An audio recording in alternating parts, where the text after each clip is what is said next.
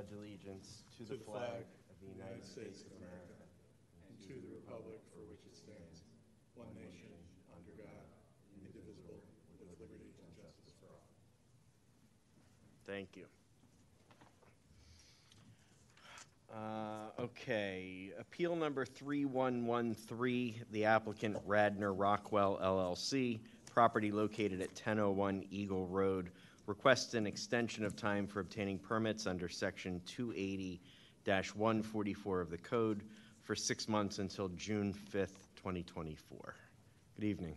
Good evening. I don't know if we want to handle the, the first two at the same time. They're the same application, uh, same applicant, different zoning relief. That's fine, I- we could do that. I'll, Yeah. I'll read that one into the record too then.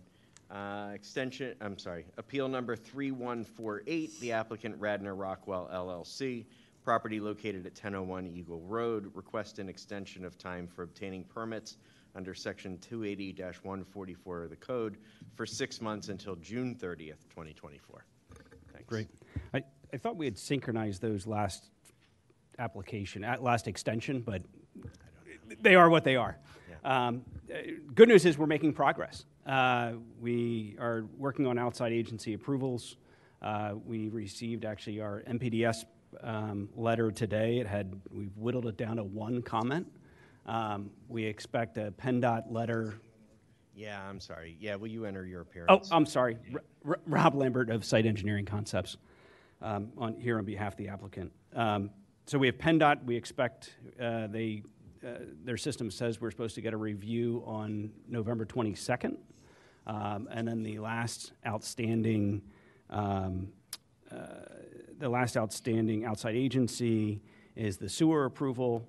Uh, We've gotten all the sign-offs from downstream. Um, Radnor, uh, when we were about to get the, the final si- sign-off from Radnor, they asked for uh, additional study. Um, So we're completing that study right now. Hope to be finished that early December um, to get sign-off from Radnor.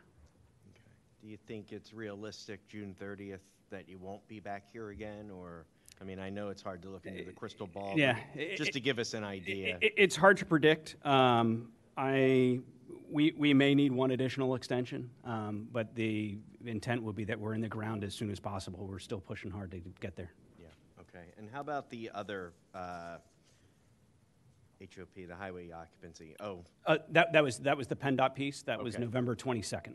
oh, that's been approved. Oh, Well, no, we're, we're expecting their response November 22nd.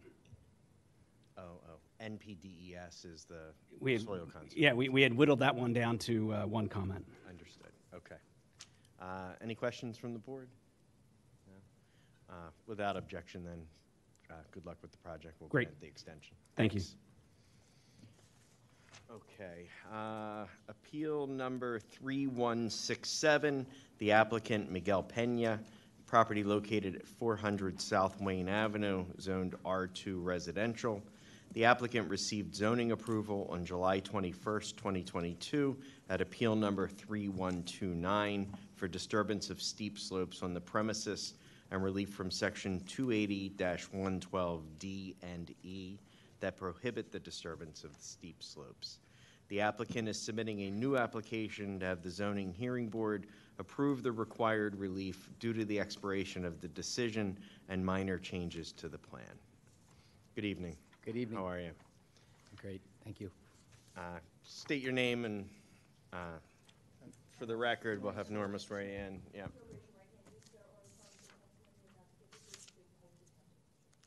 I, I do. Miguel Pena. Good evening. Thanks for uh, having me this evening. Um, So, as you're aware, uh, we- uh, I received a variance in uh, July of 2022 for disturbance of steep slopes. I was given relief for uh, exactly 1,537 square feet of steep slopes to uh, remove a hill from my backyard which in turn would allow me to build a patio, build a retaining wall, retaining wall and a patio. Um, Though the actual grading permit was, I applied for immediately after receiving the variance, uh, was granted about six months later, roughly January of, of 2023. And um, at that point, dead of winter, um, I decided to pause the project until the spring. Uh, And somewhere along the way between um, speaking to my engineer, who's present this evening tonight, uh, speaking to the township engineer and making some, some uh, requested revisions on their part, uh, I decided to make some improvements to the plan, um, which I later received the permit for as well. So in July of this past year, I received the permit for the revised plans that are in front of you this evening. Um, The improvements include. the grading permit? Yes, That sir. you're referring to? Correct. Uh, The improvements include a relocation of the seepage pit that was in the pr- uh, original proposed plan. Uh, We moved it to uh, what I would consider to be uh, a better location, less disturbance to the property, less excavating, less, less, uh, less piping uh, from the drains that are going to be in front of the, the boulder wall. And um, secondly, after looking at the dirt wall for about a year, um, I decided that, you know, we, we should push the wall back uh, about seven to 10 feet, depending, it's a curved wall, so in some areas it's about seven feet or less, and some, and at the, the highest point it's about 10 feet, uh, to create more uh, usable uh, space in our yard. Um, essentially we value engineered the plan. Um, you know, it was a win-win. We just we went with a newer technology for the seepage pit. So the the technology that we're using for the seepage pit is uh, about the same volume in half the footprint. Uh, we went with these kind of plastic underground tunnels, and um, we changed. We effectively changed the dimensions of the wall because we in pushing it back we made it longer, but we didn't change the height of the wall, uh, and most importantly we did not disturb a single inch of additional uh, steep slopes. So the revised plans show the exact square footage of steep slopes that I was given relief for um, in, in July of 2022. And uh, I'm asking for, um, you know, the zoning board to approve the, the revisions to the plan, um, which, you know, as, as mentioned, were value engineered and, and improved without uh, disturbing any additional steep slopes. Okay. Uh, Why don't we mark some exhibits? and then- Sure. And then you can take us through. So uh, let's call the application uh, P1, applicant one. Uh, The September 2nd, 2022 cover letter from Mr. Economides with the uh, July 2022 approval, we'll make that number two. Uh, We'll make your. Is this, is this an exhibit? I don't think so. I think that was just a transmittal letter, the Cornerstone Consulting. Do you want this Okay, included in the record? it looks like- okay. The Cornerstone? Uh, I'm indifferent. I think it was just a transmittal. Uh, Let's make the deed three. We'll make your June sixteenth, twenty twenty-three grading permit four. You have a packet of photographs consisting of four pages. We'll make that five. And then your Cornerstone Engineering plans, collectively, we'll make those as six, if that works. Okay. Perfect. Okay. Uh, Sure, why don't we do that? So I, I understand somebody wants to request party status, so why don't we take care of that, and then we'll, then I'll let you proceed with your presentation. Okay. Mr. Gammer?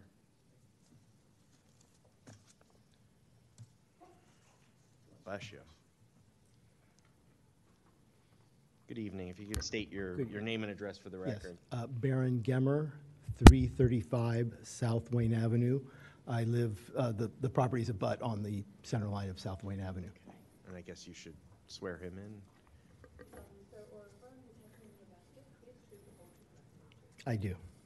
So I should have asked for some cliff notes earlier today, Gus, but, I, I mean, based on proximity, Yes, there's really not much to exactly, analyze, no, right? there's, and he was granted party status Party at the status last in the time- last the hearing, yeah. as well. So I- you'll be granted party status. Okay, thank you. Okay, Mr. Pena, thank you.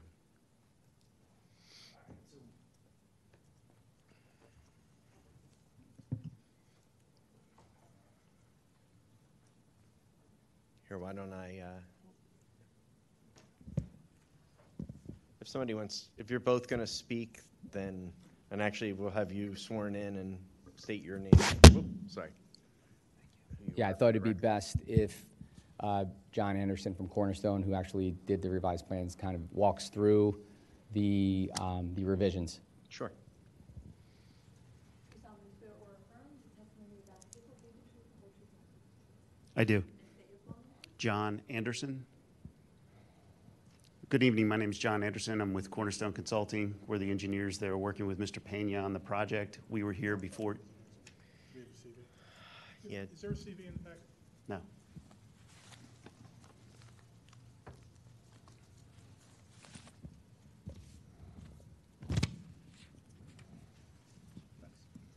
I'll take one from the file, thank you.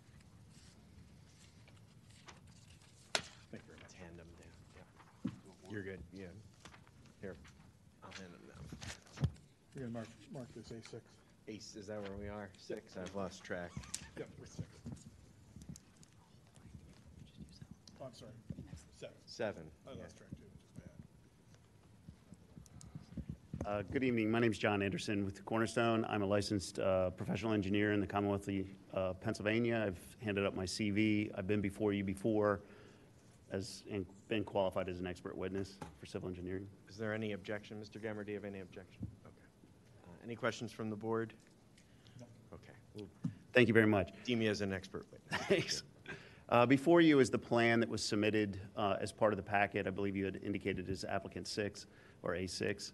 Uh, This plan is uh, basically the site plan or sheet one of the site plan. What I've done for testimony this evening is I've included various parts of the plan sheets into one plan. I've shown the contouring, the existing and proposed contouring on this plan. I've showed the improvements as far as the uh, retaining wall, the existing improvements with the building.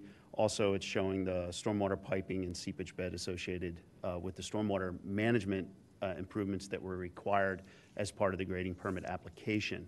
This is the new plan, um, and up on the screen, the retaining wall that Mr. Pena was indicating is uh, basically behind the existing dwelling. This property fronts on uh, South Wayne Avenue and Conestoga Road. The primary uh, entrance to the building and driveway is off of South Wayne, and the improvements, the majority of the improvements are at the rear of the property, which basically fronts on Conestoga Road. As Mr. Pena had indicated, we were previously before you for a retaining wall that extended along the steep slope area that was in the back of the existing building. Uh, We pushed that wall, as Mr. Pena indicated, uh, seven to 10 or so feet uh, back further. Um, When you say back, do you mean closer to Conestoga Road? Closer to Conestoga Road, yes, sir. Uh, And it'll opened up this area behind uh, the property. The steep slopes uh, is a line of steep slopes that extend along the rear of the property. Uh, The area that's really where my highlighter was, uh, there are no steep slopes in that area, so pushing the wall back did not expand or increase our area of disturbance within the steep slopes. Um, We were originally showing, as part of the grading permit submission for the original submission, a seepage pit down here in the uh, lower or the top left-hand corner of the property along South Wayne Avenue. Uh, In speaking with uh, Mr. Pena's contractor, we relocated it up next to the building, which allowed us a discharge or a, a level spreader that would discharge towards South Wayne Avenue instead of directing it to the corner uh, of the lower end of the property, which would be the top uh, left-hand corner. That would do, excuse me, John, just to add to that commentary, moving, relocating it to this side of the property would do a few things. One is it brings it closer to the retaining wall, which is where we're trying to capture the water. Um, So the distance is significantly closer, probably 70% closer to the retaining wall. Secondly, it would um, eliminate the need to run piping across the front lawn that I just recently planted and, and then cutting through the driveway that I recently paved to get to the other side of the driveway. So um, it just made all the sense in the world to relocate the seepage pit to this side of the property. Uh, The way we're collecting stormwater is in two fashions. Uh, We're basically collecting the roof runoff in the existing uh, roof drain areas and picking up that piping with underground piping to an underground seepage pit. We're also adding in some yard drains in the rear of the, the rear of the house.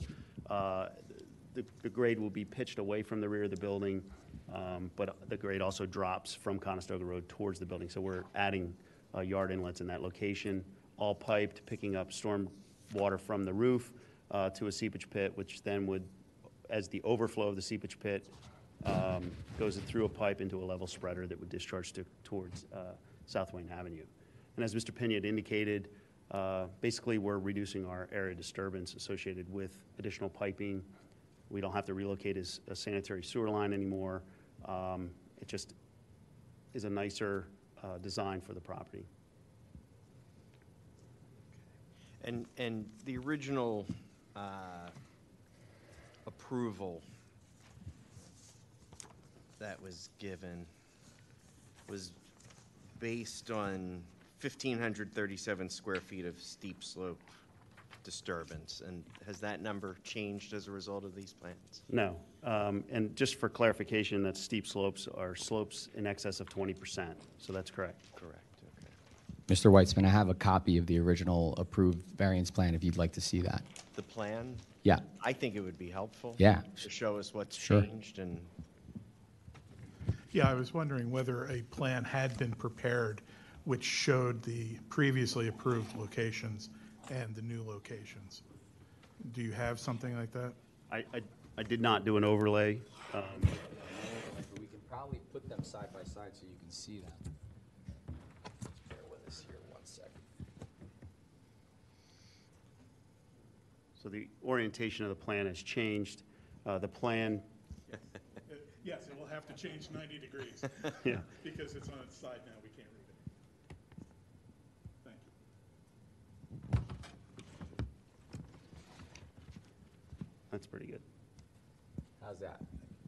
Yeah. Uh, The plan to the top of the screen is the new plan that's submitted as part of the application. The previous plan that was approved as part of the zoning uh, variance hearings in 2022 and also the grading permit uh, is to the bottom of the page. You can see that the wall configuration uh, was following, it's in a, like a crescent uh, fashion. It was following the exi- the excavation that was, uh, that had happened at that time. Um, And It was following the steep slopes. that's It's the- correct. The exact line of the steep slopes. Um, So we had shown that we were going to encroach into the existing steep slopes that were in excess of 20% uh, in an area of 15, uh, 1,500 square feet, just a little over 1,500 square feet, the plant at the top. But, uh, The other addition was that we were proposing a shed just behind the retaining wall. Uh, We've relocated the shed to the lower portion of the driveway. As you can see, we've reconfigured, uh, it's still in a crescent format, but the wall is more uh, linear instead of curvilinear, if, if lack for a better term. Uh, And it's pushed a little bit further away from the home and the proposed patio. Proposed patio is in the same shape and size, and primarily, the wall has just moved closer to Conestoga. The lower plan, which was the original approved plan, showed a detention basin or seepage pit in the lower uh, corner of the property, which is towards the upper left-hand page, and we've moved that to the side of the building, basically to the side that adjacent to South Wayne Avenue. And that shed is located in the front yard of this property? Yes, it is, yeah. Okay. Thanks. The only relief you're looking for tonight, though, is for the steep slope disturbance, is that It's the correct? same relief that was Same. granted in 2022. If you want, I can read the sections, but it's No, that's part of the okay. We're- application. But yeah. yes, that's correct. Yeah, that's correct. Okay, so you don't need relief for where you're proposing to place the shed or for any stormwater? Cor- Correct. Well, you're not asking for it. I think you do need it, but you're not asking for it.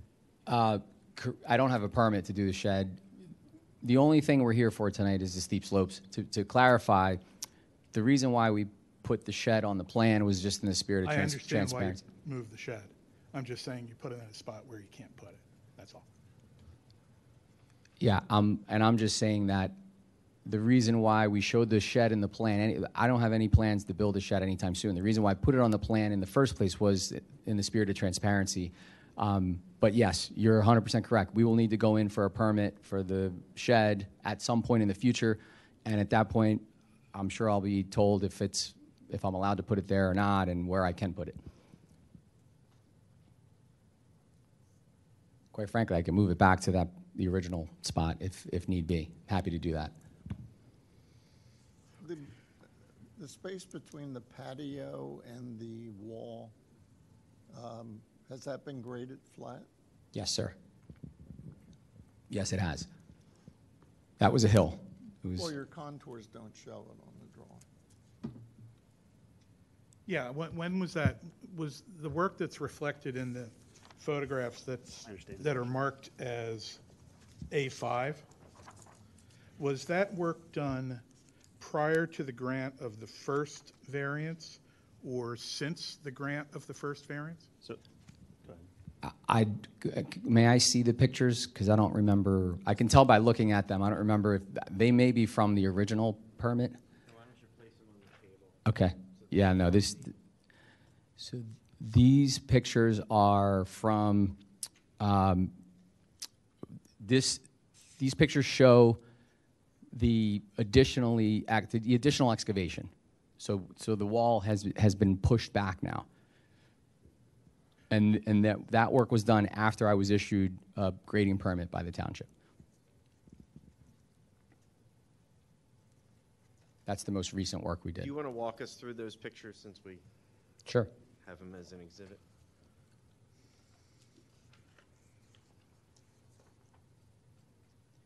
So if you, uh, is that better?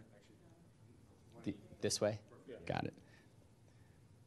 All right, so, so this top picture here, it would be, um, if I'm standing inside my slider glass door here, looking out towards the wall. And then the boulders that you see in front of the dirt wall are just staged, ready to be placed. And Norma, for the record, that's photo one of Exhibit A5.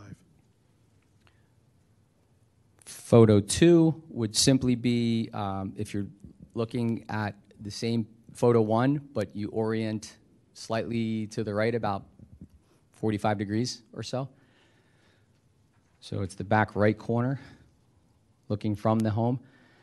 Photo number three is the complete opposite, so it's about a 45 degree look to the left. Um, photo number four is about a 90 degree look to the left of the property. And then photo number five is just another stockpile of boulders off to the left side of the home. So it would be on the plans, it would be uh, right here. Do you have that pointer? Thanks, John.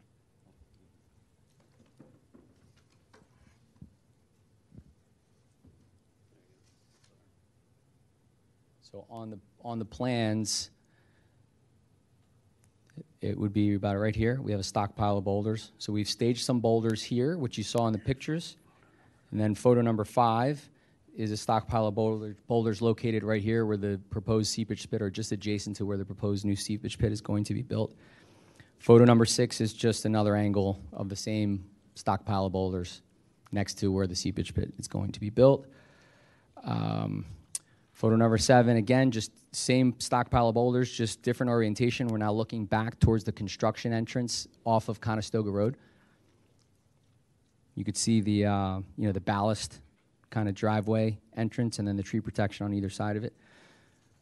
Photo number eight is uh, closer to the corner. So here, looking this way. You can see the, the back corner, the back corner of the home. Uh, this would be uh, right here, this corner. Okay. Hopefully that helps.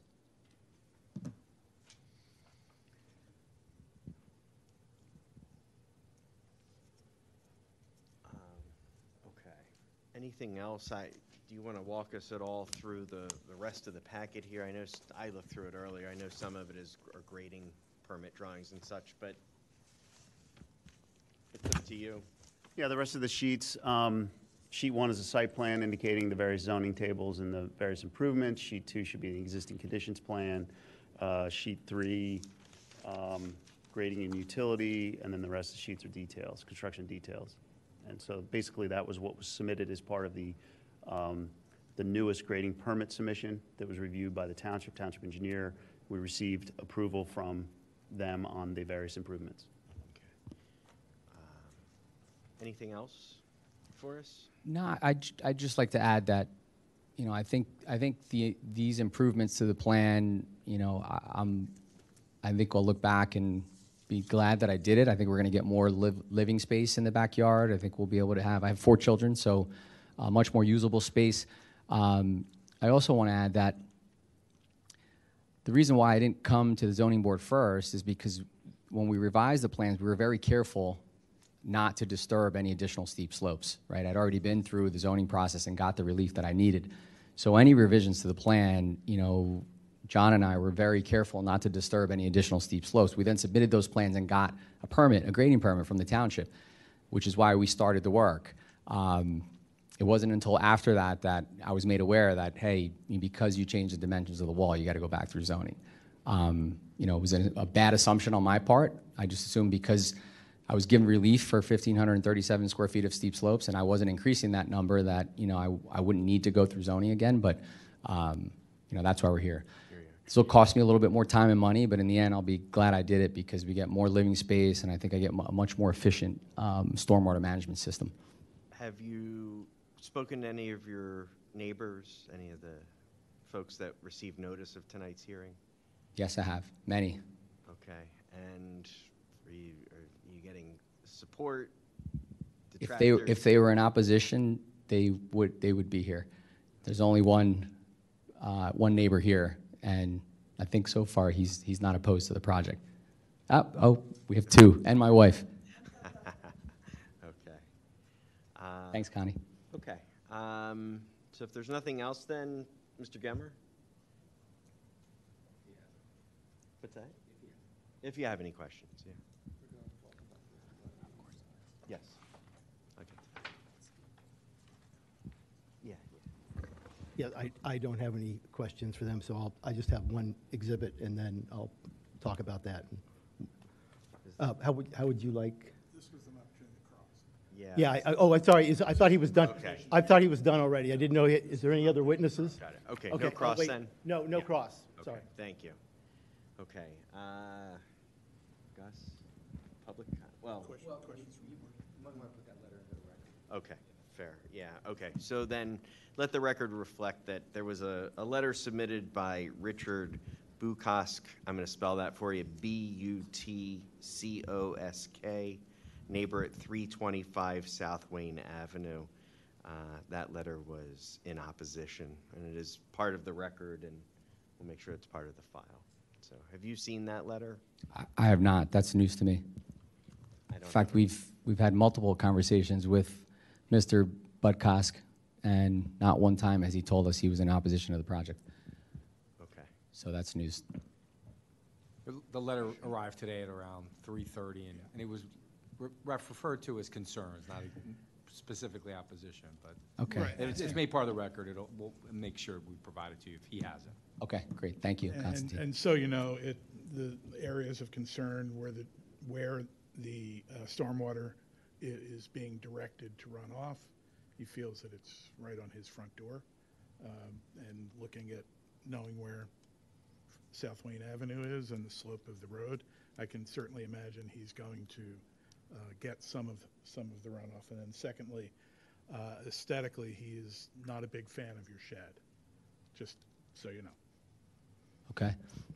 Good to know for future reference, but again, no, no plans to build a shed anytime soon. Um, The, so it's important to note, um, and I appreciate the concern, but it's important to note that the steep slopes have been removed. They were removed February, uh, February 22nd of 2022. So it's coming up on two years. In the last year and call it 10 months, nine, 10 months, we've had several storms, torrential rains, and not one time has there been any water runoff from our property. Um, I don't think building the retaining wall is going to change that. Um, but more importantly, what it's done is it's actually solved the hardship that I came in uh, to the zoning board in the first place because now all the water since since we removed the wall, it's been graded away from the house. So now the water that used to run toward and up against the new foundation wall that I built now runs away from it and then percolates. So we've never had any water problems in two years. Um, And I'm happy to, you know, have a conversation with Mr. Butcosk at the appropriate time to uh, address his concerns. I think this, this, this, the stormwater management system that we're putting in um, encompasses everything that we ever want to build on this property, um, including the patio and the shed if ever approved. Um, and, and I think is, is got, I think the volume of that uh, not only covers all the impervious coverage, but goes above and beyond. And uh, is there any existing stormwater management at the property? There, there is not. Um, I will say that I was very pleased that all our downspouts are uh, piped underground, for whatever that's worth. But it's not a true stormwater management system. We, we will be tying every one of those underground downspouts. We'll be tying them into the stormwater management system. So all the water that runs off the roof effectively will, will have access to the, to the seepage pit. That, and that was by design, thanks to John. Yeah, okay. Public comment? Not yet. Not yet. Where am I? Close- Are you- close the Do you rest, anything else you want Oh, to present, thank Mr. you. Pena? No, I think, I think we're good. We've covered everything I wanted to cover, unless, unless you all have any other Any- questions. Any board questions? No? John? No? Okay. Uh, You want to move your exhibits into the record then? Yes, sir. Okay, without objection. Uh, Yeah, Mr. Gemmer. What's that? Will you have a presentation? Oh, yeah, are you calling me? Yes. Come on up. And I'll just remind you that you're under oath. I have one exhibit, how would you like me to mark it? Uh, I don't know, what letter do we want to use? G1. Yeah. Okay, G1, si- G1 it is.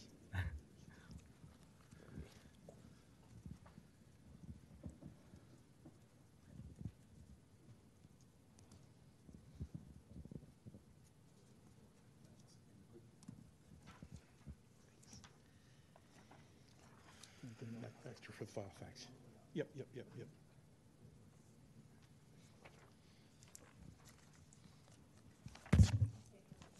oh, I'm,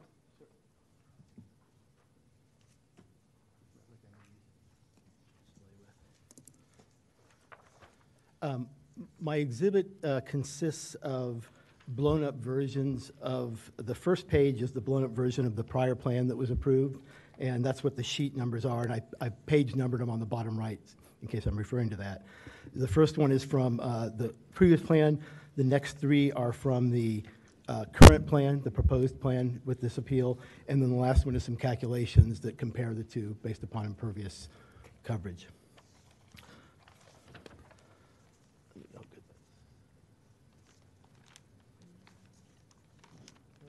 Maybe I'll use the pointer. Um, The, the, the first uh, point I'd like to make relates to sheets, uh, pages one, two, and three here. This is the old plan, and although it wasn't mentioned in the presentation, this is where uh, there's a, the driveway is right there, and then there's a thinner stone wall there, and then steep slopes there. And so this is what was presented in 2022, where you see the, those three things, driveway, steep slopes, and wall. If you go to page three,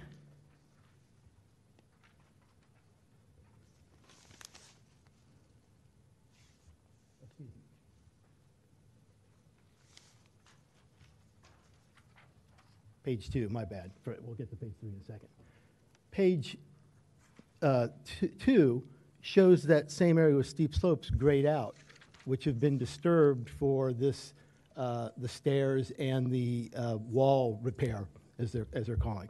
So you notice how these are also steep slopes here, which had already been disturbed, which is why they're the lighter, lighter gray.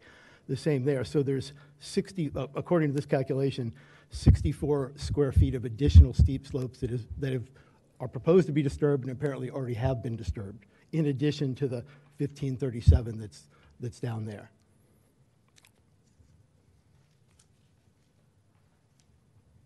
And you'll see on page three, that's where this proposed repair of wall and stairs is, which the existing was 49, and then they're uh, disturbing 64 feet, which is also additional impervious. Um, Second, Second point, I, I blew these up so you could see the total impervious. On the original plan, it's the patio, which didn't change in size, the shed, which didn't change in size, and the wall.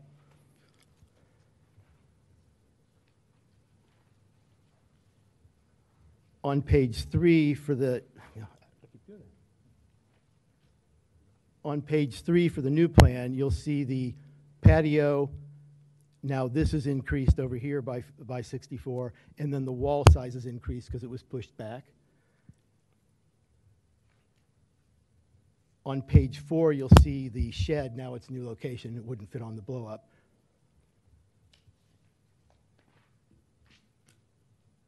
And then page five is the comparison of the impervious, uh, where the stone wall increased in size, and now there's additional 64 steep slope disturbance, but also impervious for the stairs and the wall.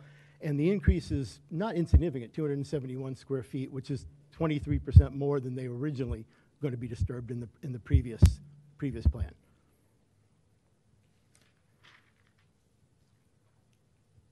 And I think this has already been gone over, but as you saw, here's the wall in its, in its original approved from last July.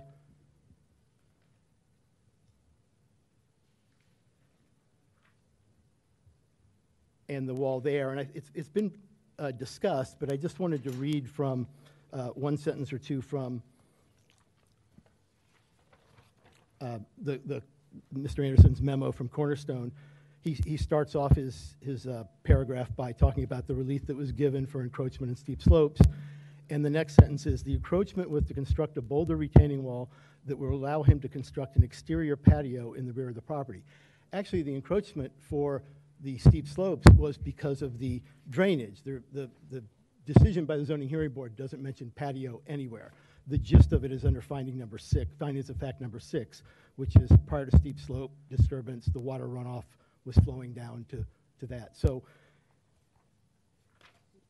there's significant more dirt being taken off um, for, the the patio is not the hardship. The size or even the existence of the patio is not the hardship. So to, to go back farther, particularly when there's been no problems with the, with the, uh, with the rain and the, and the water, stormwater flow into the basement, seems excessive. That's, that's about, I don't know, 50 to 100 cubic yards of dirt, I think that that all amounts to. And if in, in that same cornerstone note, it said, uh, the proposed boulder retaining wall was moved further away from the existing house to allow more room between the patio and the wall. Well, if the goal was to have more room between the patio and the wall, the patio is 18 by 34. It's a very large patio. It could have been reduced to accomplish the same, the same goal. My, uh, one more point on the uh, advertisement, I just want to get to this. It was read already in the record where the first part of it, um, you know, states the address in the, re- in the zoning district, and then it also talks about the prior approval. It doesn't, the only thing it says about the current one is the applicant is submitting a new application, um, oh, excuse me, to, to, the applicant is submitting a new application to approve the required relief due to the expiration of the decision and minor changes to the plan. Well, the expiration of the decision is irrelevant because this is, that's the whole reason he's coming back. It's a new plan. And also at the time this submitted, there was no expiration. You had already granted an extension for this. And uh, there's, there's more than minor changes going on. I have, I have one more that I want to go over. Um, on page four,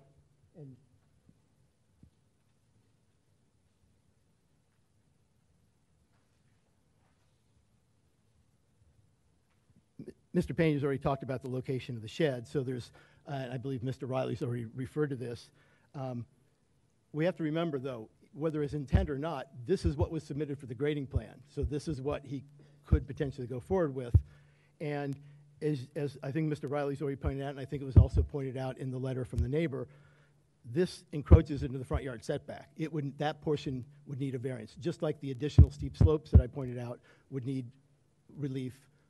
Go. Yeah, I'm sorry, Mr. Kramer. We don't have the application for the, for the grading permit in front of us, so it's not at all clear whether that, that grading permit application incorporates that portion of this plan into the I, application? I believe that's, I believe that's what Mr. Anderson just testified, that these four sheets were what submitted for the grading permit. But th- I- That was going to be my question if it hadn't already been an- asked or answered. Well- So, but thank you. No, I mean, I, I was going to ask it, but he stated it for the record already. Um, So the shed here, the first issue is the encroaching of the front yard setback, which would require relief. And again, this is all part and parcel, whether he's, you know, whether the order or the timing of everything put together.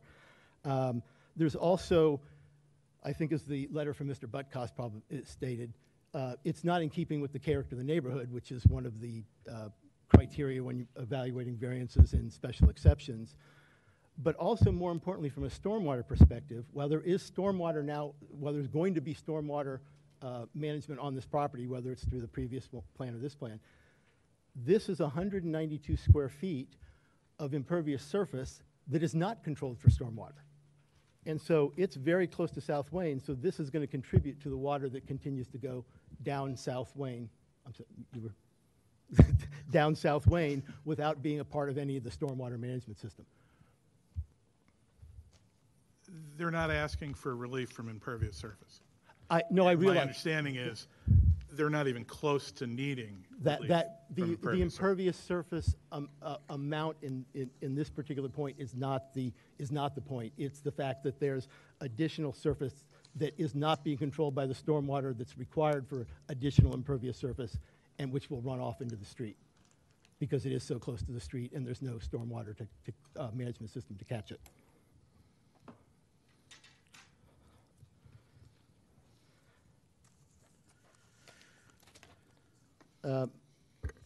So the, the- in, in closing, the two points would be, I would, I question the advertisement where it just says, this is a new submission, we have, we want required relief for an expiration of a plan, which is irrelevant, and minor changes. Um, I don't think minor changes when you're moving the shed and the stormwater system about 120 feet, the consequences of the shed where it's in its new location, um, a- an increase in impervious surface, some of which is not controlled of, of that, um, and additional steep slopes being disturbed. I don't think those are my, I don't think if I read that, I would think that would be a minor change. So I do question the advertisement and the notice for this. Um, But in, in closing, this board in, a year ago, July, approved a plan based upon the, the hardship that was presented to say we need to, to alleviate the storm water going into the foundation of the house. And the board deemed that to be the minimum relief necessary to accomplish that. If that was the minimum relief necessary, this can't be the minimum relief necessary, given the, some of the additions and, and the changes that are, that have gone on in, in increasing the impervious and some of the other disturbances. Any questions? Mr. Gemmer? I- Cross, Mr. Pena. I, I w- I would like to, I don't have any questions for him, but I would like to rebut because I think he's, he mentioned some things that are, are not accurate. We'll give you a chance for that. Thank you. Okay. I Uh, have one question for Baron. Uh, We've heard that the shed isn't being built now, Um, and that can be part of our decision, to be clear on that. So a year from now, two years from now, if he comes in for a permit for the shed,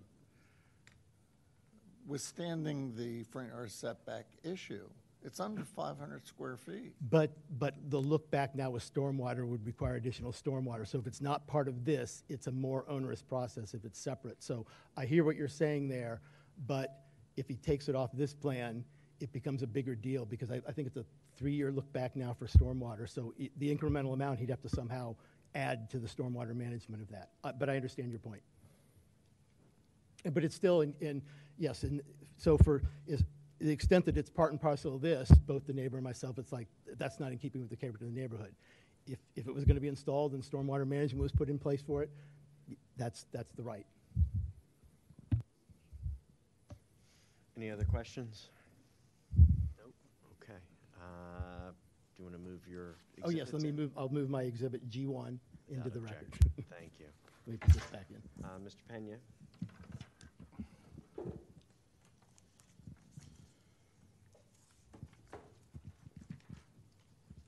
So a couple of comments. Um, I just want to clarify two things. One is this improvement right here that Barron was referencing, there's an existing boulder wall there that's, com- and steps that are completely decrepit. They're unusable, they're unsafe. In fact, when you're coming, either going up or down the steps, you can hit your head on the gutter coming off the, the side of the house or the garage. So, so we, we are, we have to move the steps over. Um, that was, um, you know, visited and revisited with the, with the township engineer and the township, um, QCI, who's the, um, uh, the uh, township uh, third-party engineer, and was was approved and permitted.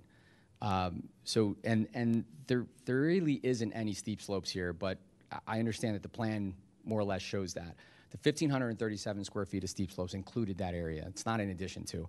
So that's the first thing. I just want to clarify. None of that work has started. Mr. Mr. Gemmer said that we've we've already removed those steep slopes. We have not. Not that decrepit wall is still decrepit. It's been decrepit since I moved in the house two years ago.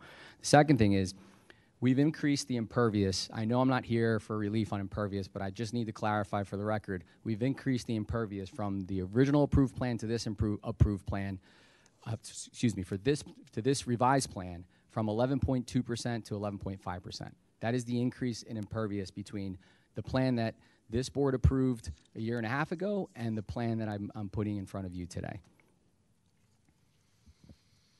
So I just wanted to say that for the record. Mr. Anderson, would, I have a question for you. So I, I'd like to hear from you on that, what Mr. Pena just said, that the disturbed slopes at 1537 includes that area that Mr. Gemmer highlighted for us. I don't believe it includes that area. Uh, I believe that the interpretation of the, and I- I can't speak for them, but it's an existing non-conforming s- retaining wall, and therefore, it- under the ordinance, it can be rebuilt uh, in its current state into something of what was similar to that. But I believe the 1537 was just the area behind the house. Okay. But to clarify what Mr. Pena had indicated, the additional impervious coverage is covered under the stormwater management calculations. So regardless of where that shed goes, obviously, it would be in compliance, or would need to be in compliance with the ordinance, or additional relief would be necessary. I don't think Mr. Pena wants to come back to the zoning hearing board, so he's going to most likely locate it somewhere in compliance with the township ordinance and setbacks. But the calculations for stormwater included that impervious coverage. Got it. Okay. Any other questions? No? Public comment? Anyone from the public wish to comment?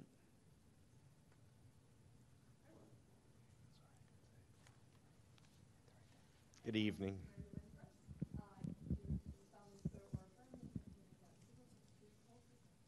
Yes. Connie Congleton. C-O-N-G-L-E-T-O-N.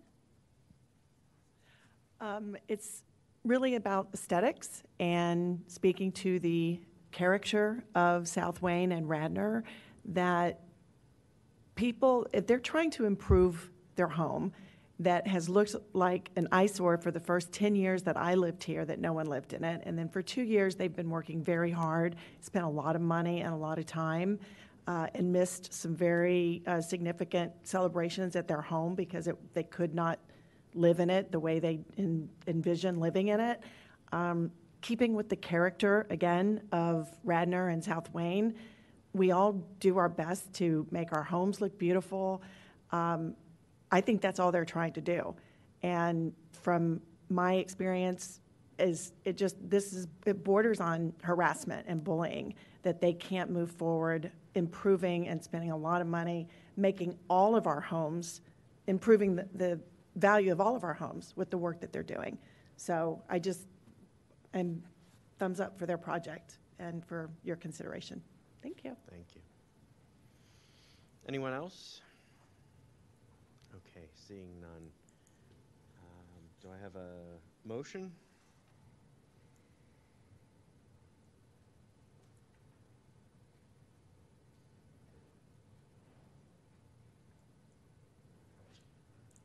Do you want to try and take the lead, John? Well, the problem is that you can't simply refer to the plans because the, re- the relief relates specifically to relief from the requirements of section 280, 112 D and E, uh, and nothing else on the plan. So, uh, m- Mr. Chairman, I would, I would move that uh, the applicant be granted uh, the relief requested from the uh, requirement for um, non-disturbance of sleep, uh, sleep, uh, steep slopes uh, required by section 280-112D and E, and for period, full stop. Nothing else on the plan that might relieve, require relief is granted relief by this action. Second. Any discussion?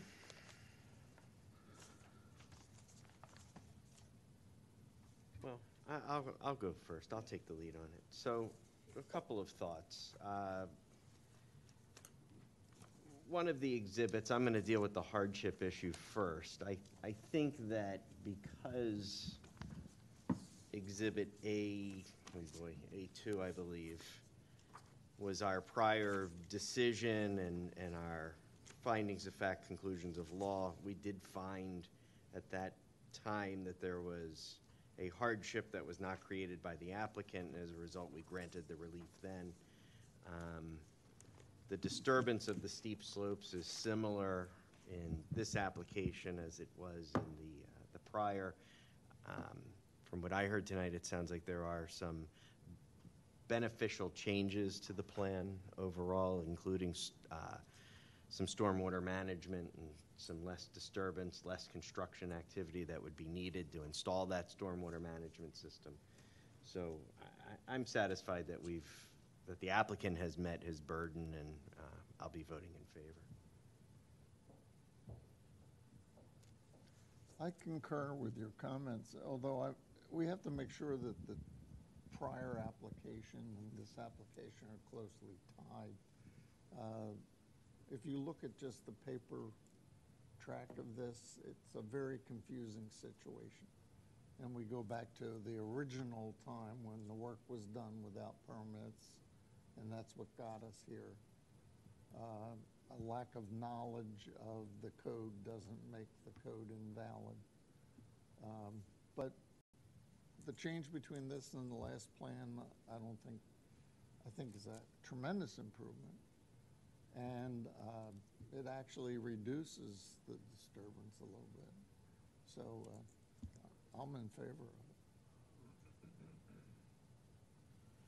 it. Um, Yeah, I, I- I don't see anything in the record provided this evening that uh, would undercut or render invalid the decision that we've made previously on, on the application. Um, a- Again, you know, my, my interest here is that um, just the relief from the steep slope disturbance is what we're talking about. I think that that's clear. Mr. Gemmer, I do appreciate the fact that there are differences in the two plans. Uh, I, I don't know, though, that the disturbance of the steep slope presented by uh, the plans here this evening are of such a- an extent that it uh, would uh, undercut or invalidate the, the prior decision of, of the zoning board uh, on the, uh, on the question of steep slopes. So for, for those reasons, I'm going to approve the grant of the relief. By the way, I, I forgot to welcome you when we, when we kicked off this meeting, but would you like to join in? Uh, I really don't have a lot of the knowledge that the rest of you have, and so the reasons that you've stated all sound very sound to me. Okay, great. Uh, Okay, we'll take a vote then. Uh, John? Aye. John? Aye. Bud? Aye. I'm also in favor. Good luck with the rest of the project. Thank you. Thank you very much. Okay, uh, appeal number 3168. The- The the applicant Mayur and Reema Patel, property located at 427 Midland Avenue, zoned R2 residential. Applicant seeks to construct a pool and pool house in the rear of their property The property backs up to the commercial properties on Lancaster Avenue. Applicant exceeds the maximum impervious coverage requirement by the code by 126 feet, half a percent. Applicant seeks a variance from section 280-20F, maximum impervious coverage of the code, and section 280-101B1 of the code, extension of non-conforming building. Applicant also contends that the relief requested is de minimis. Applicant seeks such other relief which may be required in conformity with the plans and testimony presented. Good evening, How Nick Nick? Representing uh, the applicant on this matter. Um, This is a property that's located on Midland Avenue in Wayne. Um, I have the aerial map indicating where it's located, the middle block, I believe, of the 400 uh, block of Midland Avenue. I believe maybe a couple blocks down from St. Catherine's, uh, going. I'm sorry, I'm sorry, Norma. Um, A3 indicates where the property is located. And the interesting thing about the property, the uh, proposed addition, the pool and the pool house is being located in the rear of the property here. This rear of the property backs up to the commercial properties on Lancaster Avenue. Uh, Also, you'll notice, actually, the neighbor has a pool in the backyard similar to where um, the Patel's pool will be located. So I just wanted to, to show the board where this is located. As I mentioned, uh, it is on Midland. It backs up to the commercial properties on Midland Avenue, which is really the neighbor that would be affected um, by the pool itself. Uh, There's two requests for relief here. The first request is, uh, we are slightly over the impervious coverage by 126 square feet, which is a 0.5% increase over uh, the required amount. The required amount in this zoning district's 30%. We're at 30.5%, um, eh, which is an addition of 126 feet. Uh, When I filed the application, actually, Patty Coffin pointed out the fact that there is um, an addition going on to the existing garage, and that addition is permitted. It's not extending an existing nonconformity, but that code also relates back to impervious coverage to some extent in that it says that it is permitted by right, provided you're in conformity with the density um, provisions of the code. So this would be slightly over those density provisions of the code, although if you're just looking at where the shed is located and the impervious around the shed, or around the addition to the uh, existing garage, um, it would be under the impervious coverage. It's the, uh, the pool coping that really puts it over. Um, So we have uh, Mr. Patel and Ms. Patel here uh, this evening, and they can step up and testify.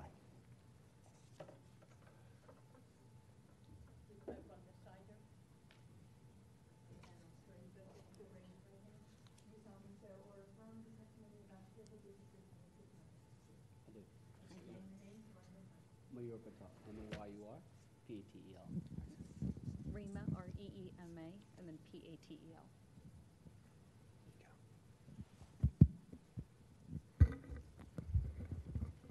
Um, Mike, um, first I'm going to just show you the deed. You um, acquired the property in 2014, you and your wife? Yes, And you reside there with your, um, with your wife, the two of you reside there with your child, I believe, right? Yes. Is that correct? Okay. Um, Showing you what's been marked as A3, and that was the, um, the aerial that I showed you previously. And this does indicate where the arrow is, where the house is located, correct? yes, that's correct. Um, And you see St. David's Road is located up here in this area. Yes, And then you're backing up to the commercial properties on Lancaster Avenue. Is that correct? Yes, that's correct. What's directly behind you? It's a daycare and a commercial medical building. Uh, a- And what is your proposal? What do you intend to, to put placed in the backyard? We'd like to add a pool and a pool house with a patio. Okay. And is that going to be located in the rear of your yard there? Yes, it'll be in the rear. Um, And it looks like your neighbor to, uh, to the east uh, already has a pool back there. Yes. Right? Okay. Have you spoken to both your adjacent neighbors on either side of you? I spoke to both of them. And do they have any opposition? No. Um, I'm going to show you what's been marked as A4. Is this the current, this is the front of your home? Yes, that is. All right, And again showing A5. Again, that's more of a close-up picture showing the rear of your home located here and the commercial properties behind you. Yes, correct. And A6, is that the current condition of your rear yard? Yes. And it shows, it looks like an old garage, shed type of structure. Yeah, it was an old garage. We use it as a shed right now. And you're intending to extend um, that structure? is that Yes. correct? Show you as A7, is this what the designer showed? And I'm sure it's a very pretty picture since it's done by your designer, but this is really what you're indicating um, to have there, perhaps not, um, but uh, Yes. kind of in that type of manner. Is that? it? Yes, that's correct. Um, Now, I've marked as A8 and made part of the package um, a plan, but we also have A9, and this just slightly different than the plan, because again, Patty Kaufman had pointed out that it looked like you had flagstone around the pool, which would add to the impervious, and actually made it more look like what it was supposed to be, which is pea gravel. And so Yes. really, the only difference between A9 that the board has and this plan is it specifically states that it's pea gravel and shows that it's pea gravel instead of, um, Yes. um, Ms. Kaufman was particularly concerned about that. She wanted to make certain that it was porous and not impervious. I'll mark, I'll uh, hand these, I've marked them as A9.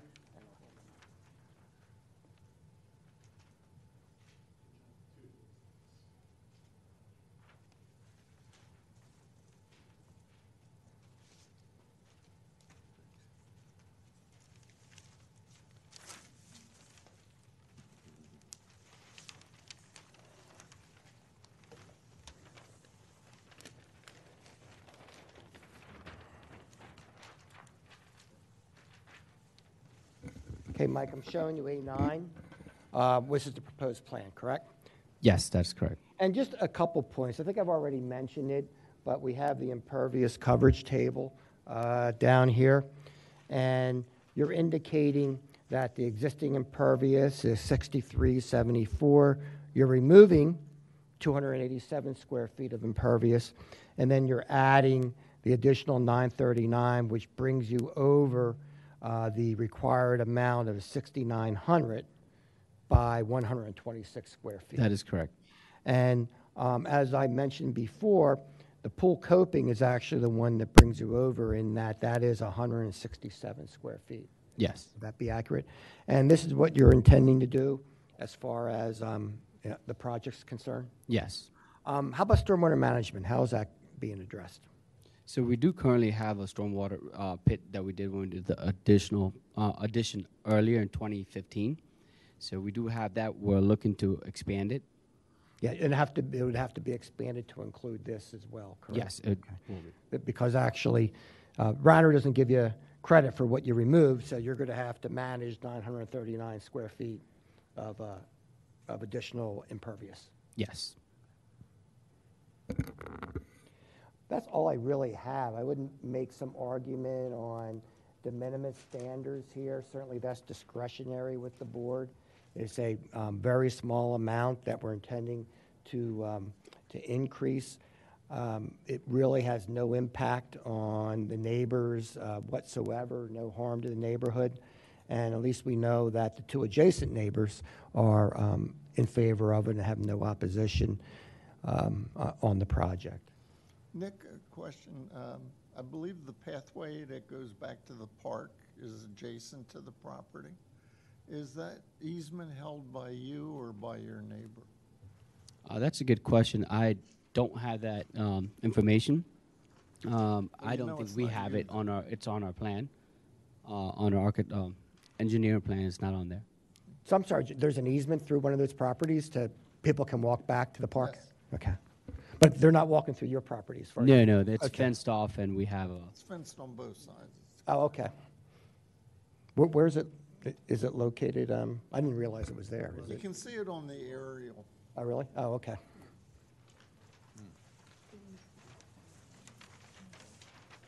Since I put it in.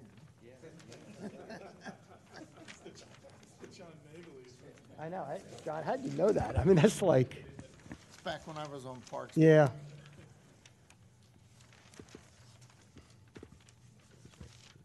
Oh, yeah, he's pointing, oh, it's on the side here, okay. It's fenced off and we have. Yeah, it looks like it's right between your house and the neighbor's house. Yeah, it's well- But it's fenced off, yeah. And you won't be disturbing that, you're not having any effect on that at all? No. No.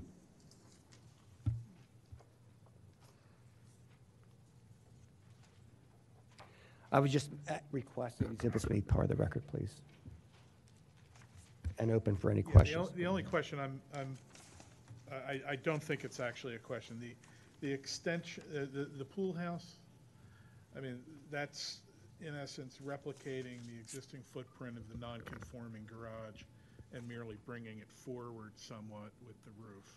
That is correct, Okay. yeah. But, but that's it, okay. Right, and, and Patty already gave her blessings on that, but for the fact that, you know, the impervious coverage issue.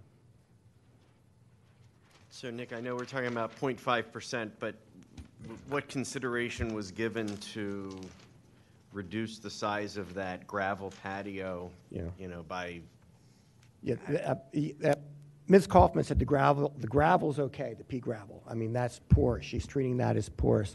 When we fir, when I first saw this plan, I think we had like, uh, we were over by approximately 1,500 square feet.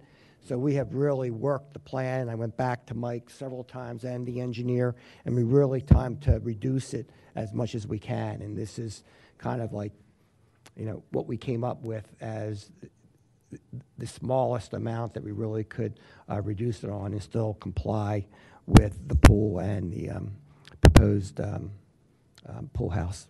so can you reconcile the A7, uh, the patio, the proposed patio area with A9?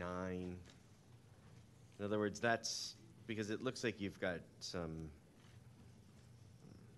stonework for, and Yeah, some of Rich, it's. yeah, it- uh, right. um, And that is actually, again, I think this was an early on rendering done by the design group on this.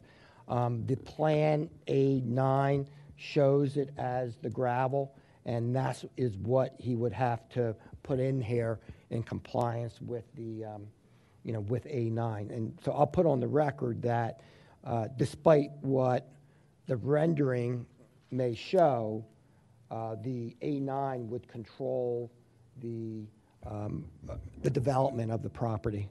Because I, I see what you're saying, because it looks like there's a portion that's pea gravel, and then there's a portion that um, Yeah, it looks like it- paver it's paved, some sort of pavers. So that, that would not be pavers in accordance with A9, that is, that is pea gravel there. Okay, so it is literally then just the coping around the, Yeah, it's the, it's the coping around the pool, as I said, and that's uh, 167 square feet. So that's really the only area that is um, impervious, i- i- is the uh, coping. So is the, the space that's under the proposed roof patio already impervious? Because that's, it's shown as an addition on the Yeah, I, calculation. right, it looks like, yeah, I would think that that, well, Mike, you probably would know better than me. It- I believe that the proposed roof patio would be new impervious, is that Yes. accurate? But what I'm, s- I, I- I don't know how much, I don't, I don't know what the square footage is you need to get under it, but uh, reducing the size of that roof wouldn't get you there? Now, well, it would be, we have to reduce it 126 square feet, and he probably, you know, it, it would be such a small area that he probably wouldn't do it, I would assume. I- well, I talked to him about it you know, right before the hearing, actually. I said, what would happen, you know, if they came back and said, if, if you asked for Some wise guy said, 126 square feet? hey, make the roof smaller. Yeah, right. Uh, What would happen? He said, I probably wouldn't do it just because, you know, it'd be so small. Yeah, we try to anticipate what you're going to ask, so. okay. Any other questions of the board? No? Okay. Uh, Public comment? No. Boy, I'm really having trouble tonight. Told you. Any public, any public comment? Seeing none. Uh, Nick? Uh, I would, requ- I request the exhibits be made part of the record, please, and Without request objection. approval um, of the plan of A9 you know, specifically um, for the Patels. Okay, thank you. Uh, Is there a motion?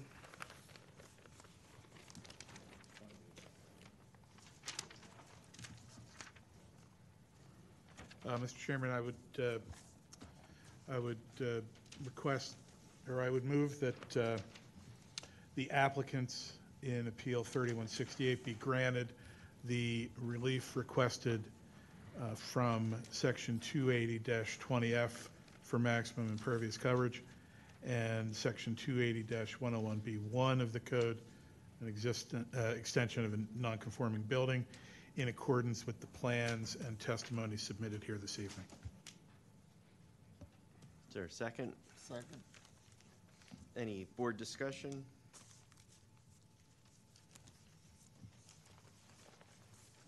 Well, John asked about the sizes of the uh, patio, but how about the size of the pool? Similar result, right? You get a pool, you can't even take a stroke in. Uh, it looks, uh, nice plan. That area, this is one of those cases where we need holistic codes because the flooding problem on Midland Avenue is so bad, but. It's that's- further, yeah, I think most of it's further Yeah, it is. down, it yeah, is, But nonetheless. by the middle uh, school, yeah. That doesn't matter because that's not the way the code's written.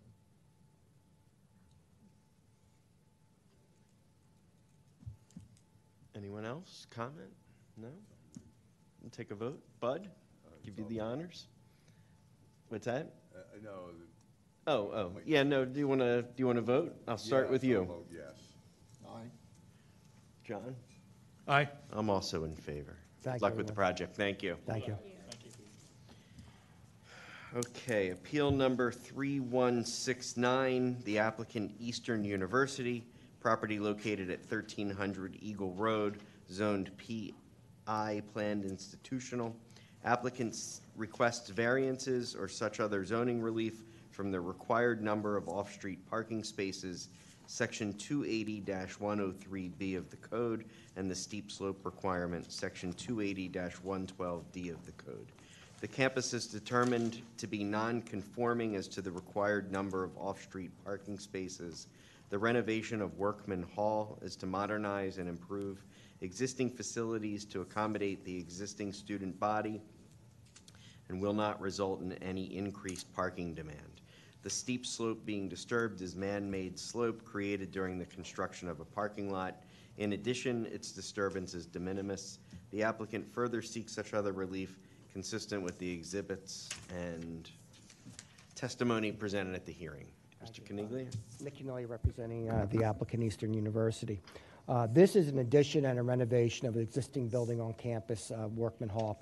Workman Hall is located on Eagle Road, relatively close to where the entrance is on Eagle Road, perhaps a little bit uh, west of that entrance, and across the street from what was formerly Cabrini College, or Cabrini University.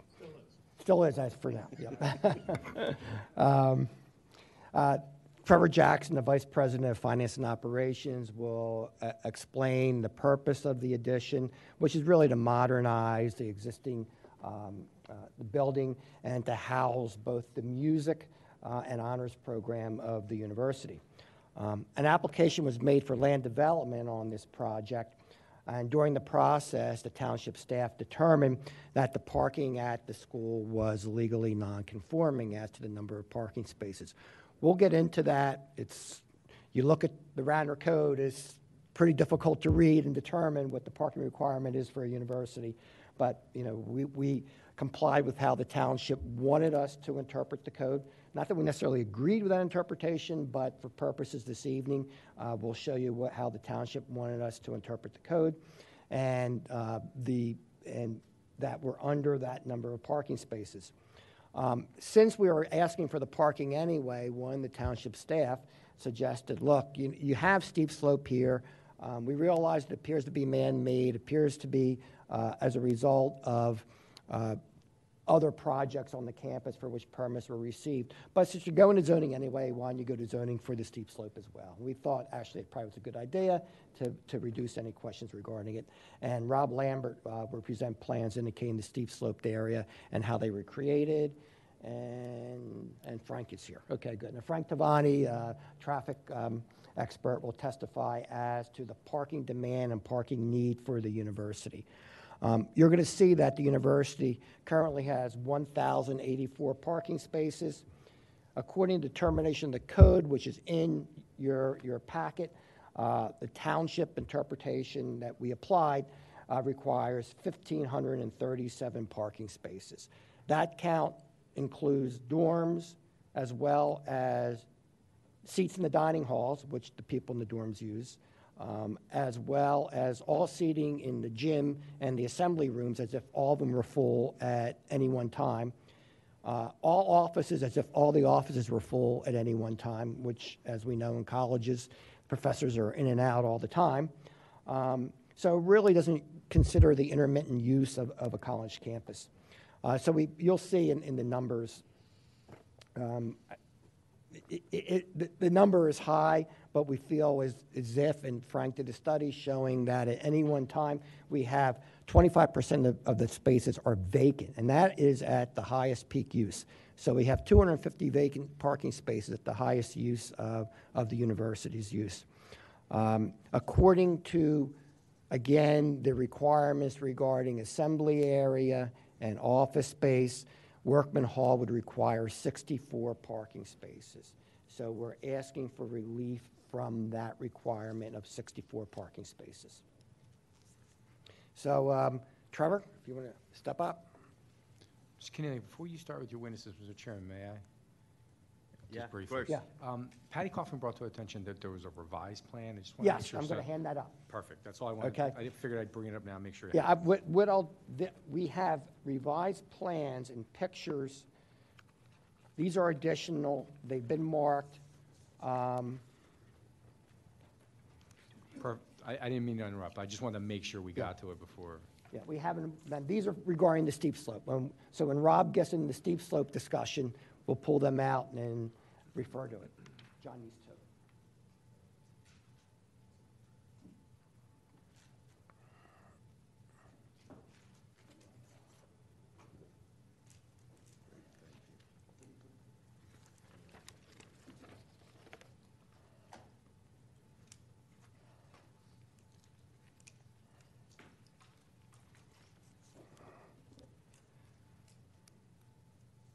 Okay, I'll swear you in. If you raise your right hand, you swear or affirm the testimony you have to give is the truth, the whole truth, and nothing but the truth. I do. And state your full name, please.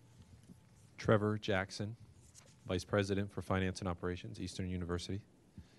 Um, Just a couple formalities, Trevor. Um, I've marked as A2 a copy of the deed for this portion of campus. Is that correct? That's accurate. And then A3, uh, what we referenced previously, or actually, we have, we haven't referenced it yet, but we have an aerial photograph. And here's the eastern campus, and we have an asterisk on Founders Hall, correct? Workman Hall, correct. Workman Hall, I'm sorry. Founders is right next to it. Um, And this across the street from um, Cabrini University. Correct. All right, and kind of near your entrance down uh, by King of Prussia Road. Correct. So, uh, what's the purpose of the addition? Uh, It is to house our Templeton Honors College, which is currently there, uh, and also our music program. And is that housed in that building now, or why do you need the addition for it? Uh, They are both housed in there now. Uh, We are at capacity with those programs as, as, at this point in time. And the existing building uh, is, is in need of great repair, put it that way.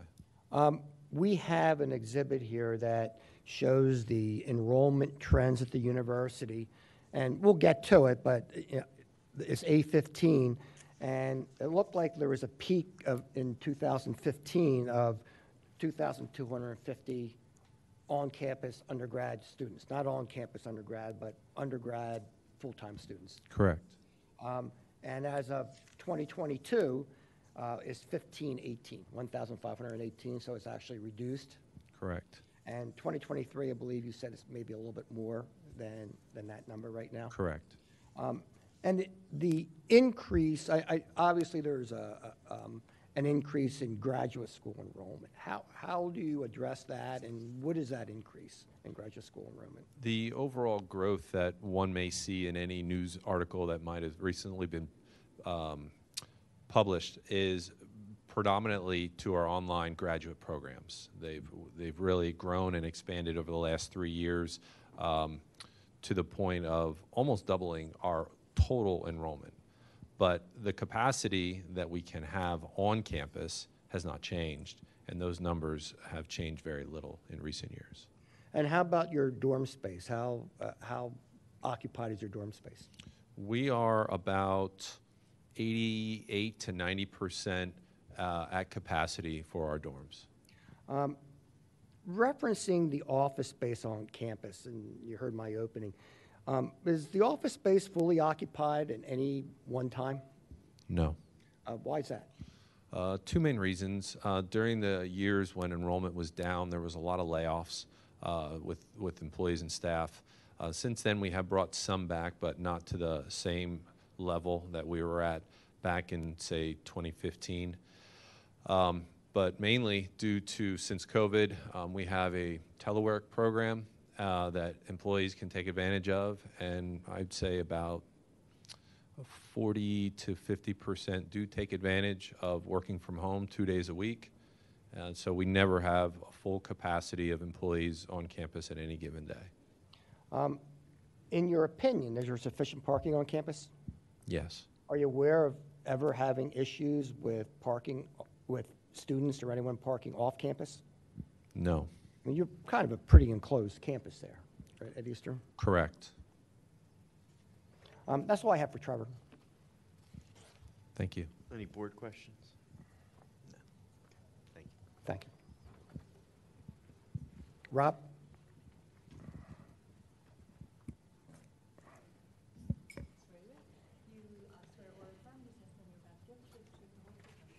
I do. Rob Lambert, L A M B E R T. Rob, what's your profession? I'm a civil engineer. Uh, You're registered in the Commonwealth of Pennsylvania? Yes, I am. Um, Have I marked as A19 your curriculum vitae? Yes. And um, have you testified and been qualified as an expert before any boards in Radnor Township? Many times. And as well as other townships as well? Yes. Um, May I have uh, Rob qualified as an expert in civil engineering? Without objection. Thank you. Um, Rob, first, let's talk about the steep slopes, which we just handed up, and we're going to, why don't we refer first to, um,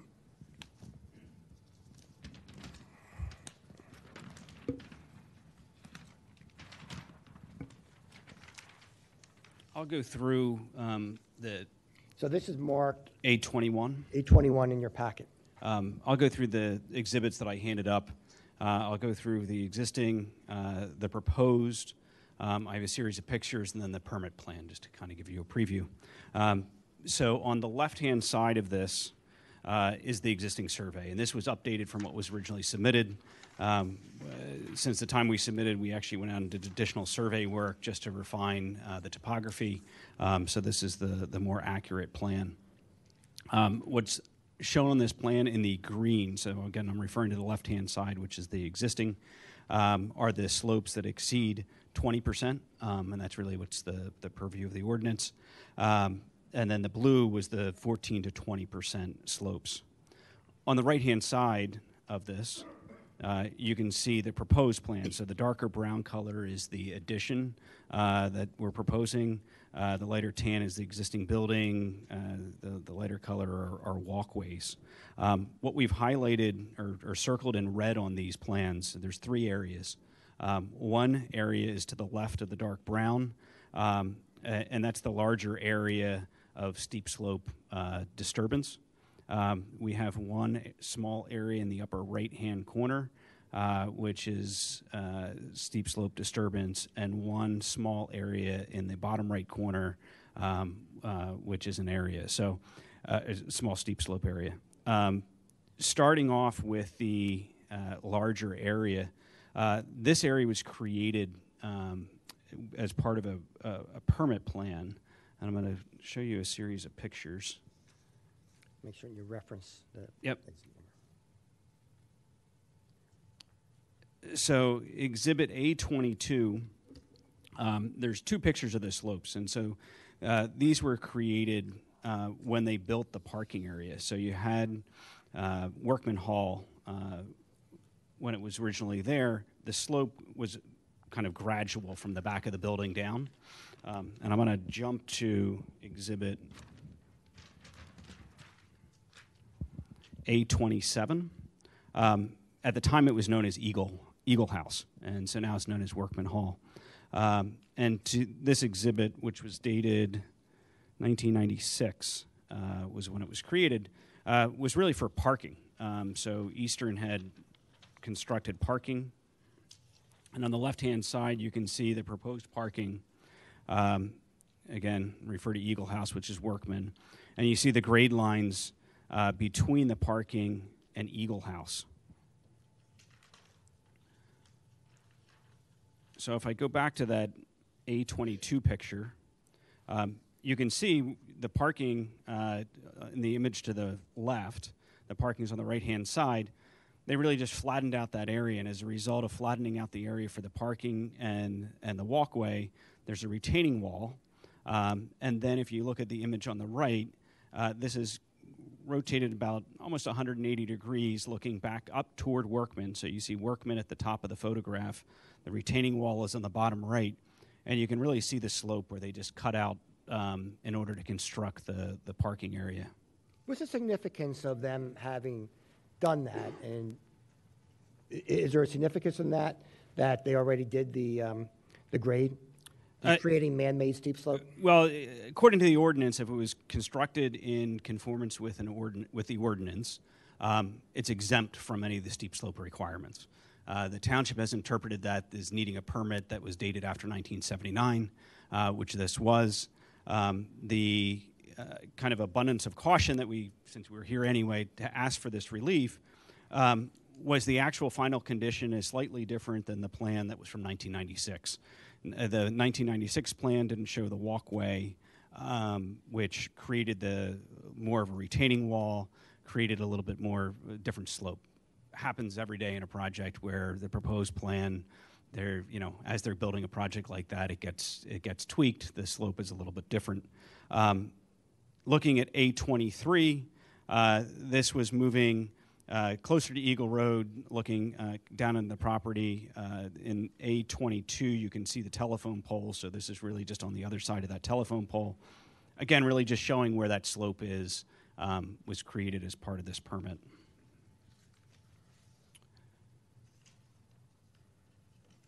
Then if I go to A24, so one thing I want to note before I close up A27 is that if you see A27, the parking lot ends um, just past where Workman Hall is.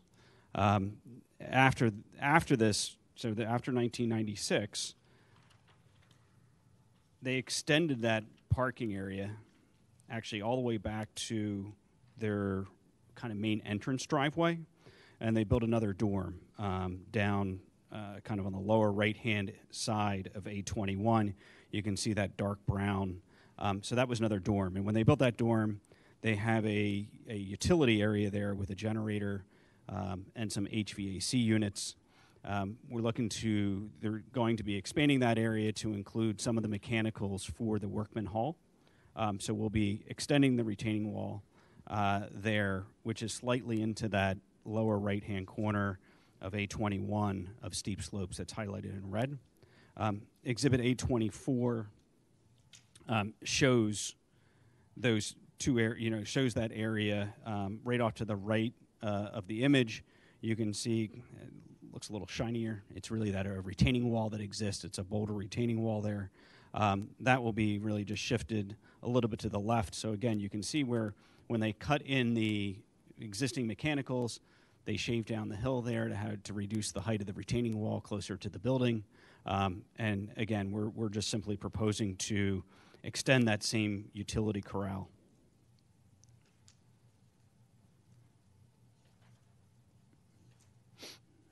Exhibit eight twenty-five is a closer up image. You can see where that uh, retaining wall is. You can see the green, uh, I guess it's a generator there. Um, and then, again, that slopes off to the left, so as we enlarge that, we'll be encroaching a little bit into that slope. Can you, can you show me again where you're referring on A21, where are these photographs? Yeah, so A21, um, if you look at A21, I'm going to look at the proposed plan on the right-hand side. Uh, the, the slope is really highlighted in red. So if I extended the red out to where it says asphalt walkway and stood on the walkway and looked back toward the red, that's right where you're standing.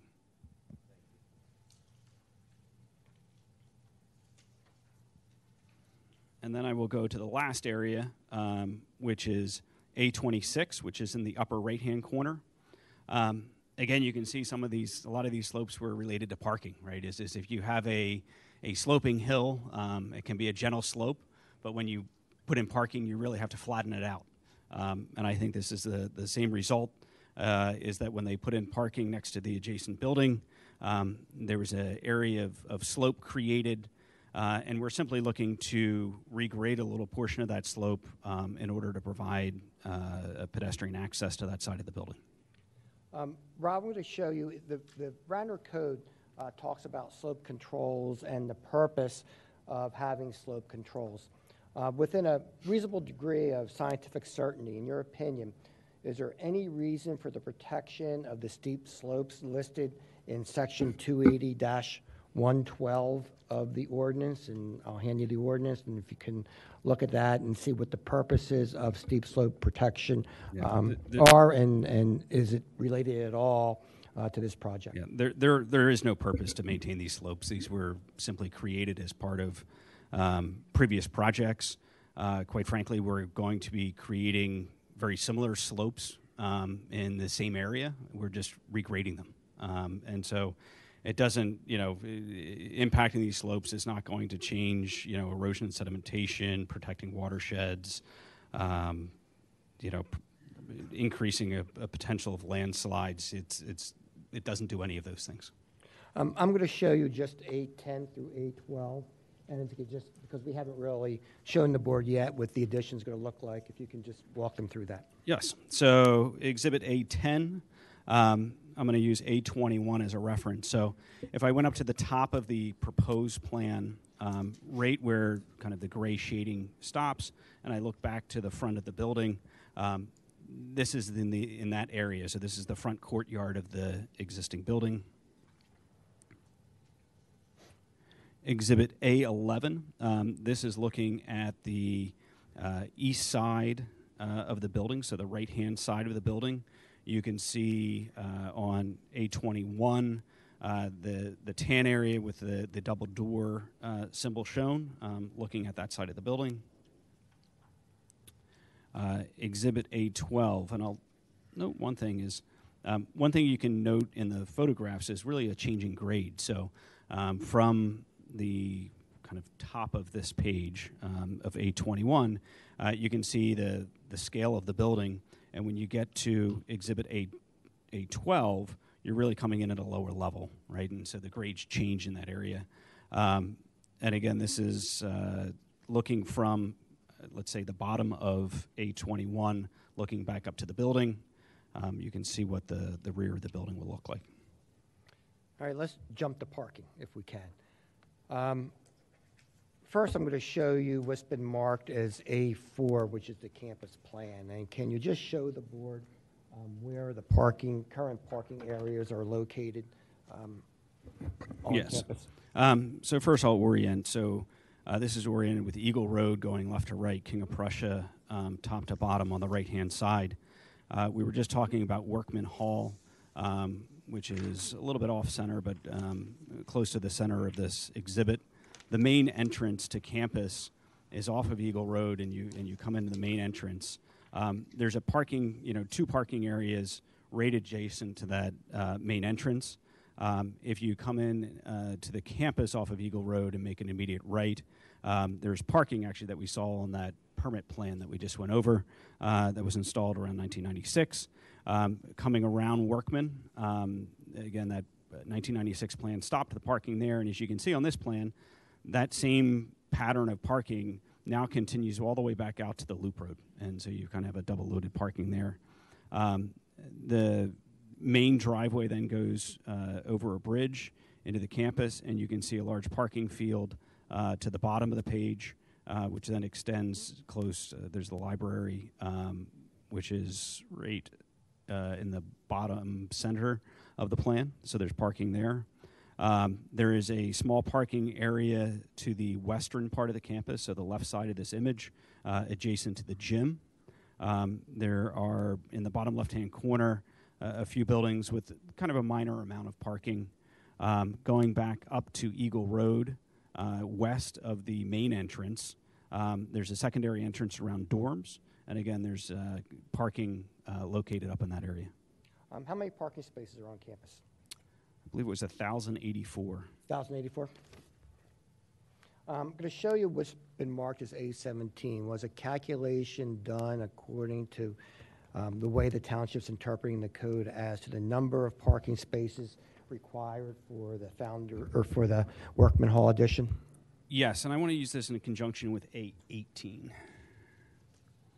Um, so uh, A17 really shows the, the floor plans and how we went about calculating the areas uh, with the zoning officer, um, looking at each individual area. So A17 has, has two pages, um, and how we identified the square footage of each of those areas, and then used the formulas from the township uh, code, as the township wanted us to look at, uh, to determine the number of parking spaces. Um, so looking at A18 is really a summary of that, right? So this gets into the to the spreadsheet. Um, at the top of A18, so again, A18 is two pages long. Uh, the first page is, is what is currently required on campus. So we went through, um, to the best of our knowledge, every building on campus uh, and looked at every every space and and tabulated them. Um, as Nick pointed out earlier, the code doesn't contemplate that the same person using the dorm uses a classroom, uses the dining hall, and uses the gym. Um, and so we're counting that, you know, the, the, the one person potentially four times when you're really looking at the way the township's interpreting the code. Um, so on the top of the second page, uh, it lists the total spaces required under the code was 1,537 uh, spaces, where 1,084 uh, currently exist. The next section of uh, A18, sheet two, is the proposed Workman addition, providing the same formulas. Um, we come up with an additional 64 parking spaces needed. Um, and really, the going back to A17, it may be difficult to see. It's really an enhancement of those spaces. Um, we're not looking to have more students. It's just really a, a better student experience. Um, there is a small performing arts area for uh, music. Right now, those events still happen on campus. It's just not really in a in a correctly scaled venue, right? You might be in a much larger larger auditorium where it was more meant to be a, a smaller, intimate setting. Thank you. That's all I have for Rob at this time. Any questions from the board? No? Thank you. Frank? We'll get him. We lost Frank.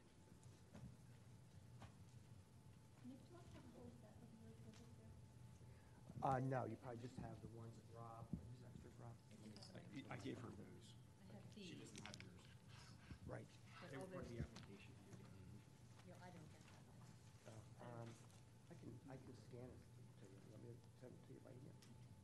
I just thought if you had an extra copy, it Thank you, Mr. Webb. makes my life easier.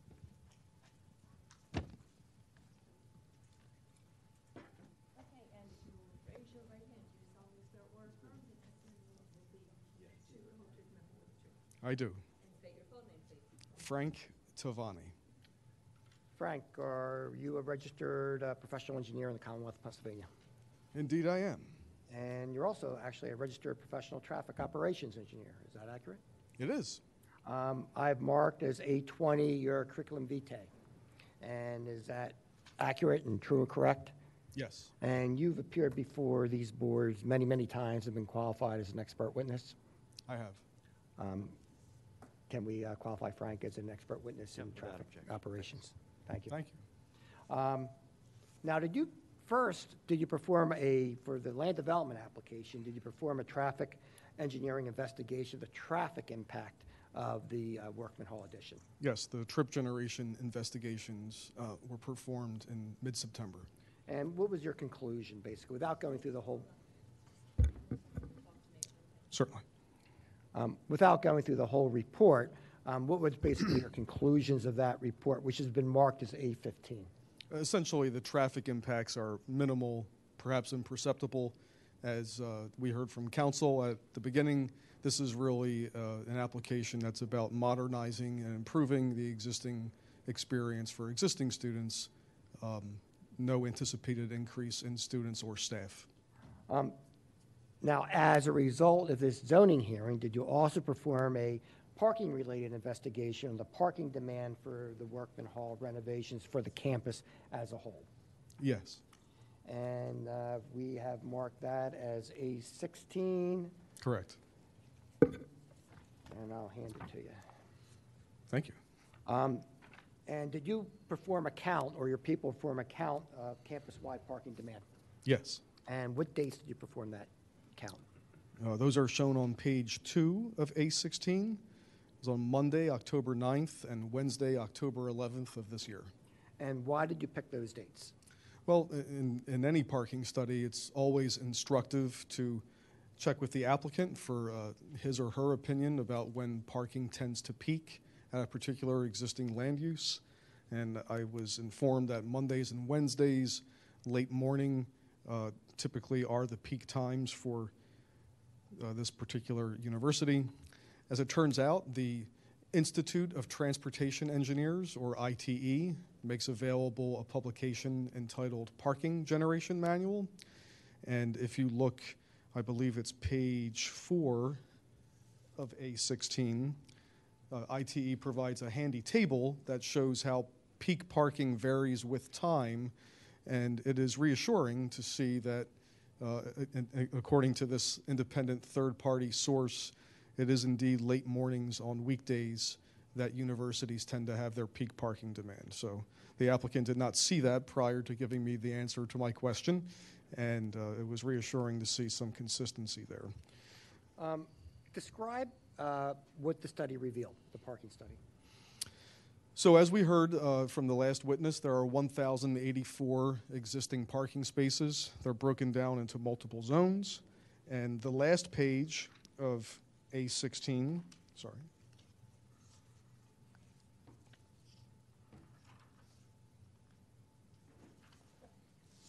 I might use that for notes.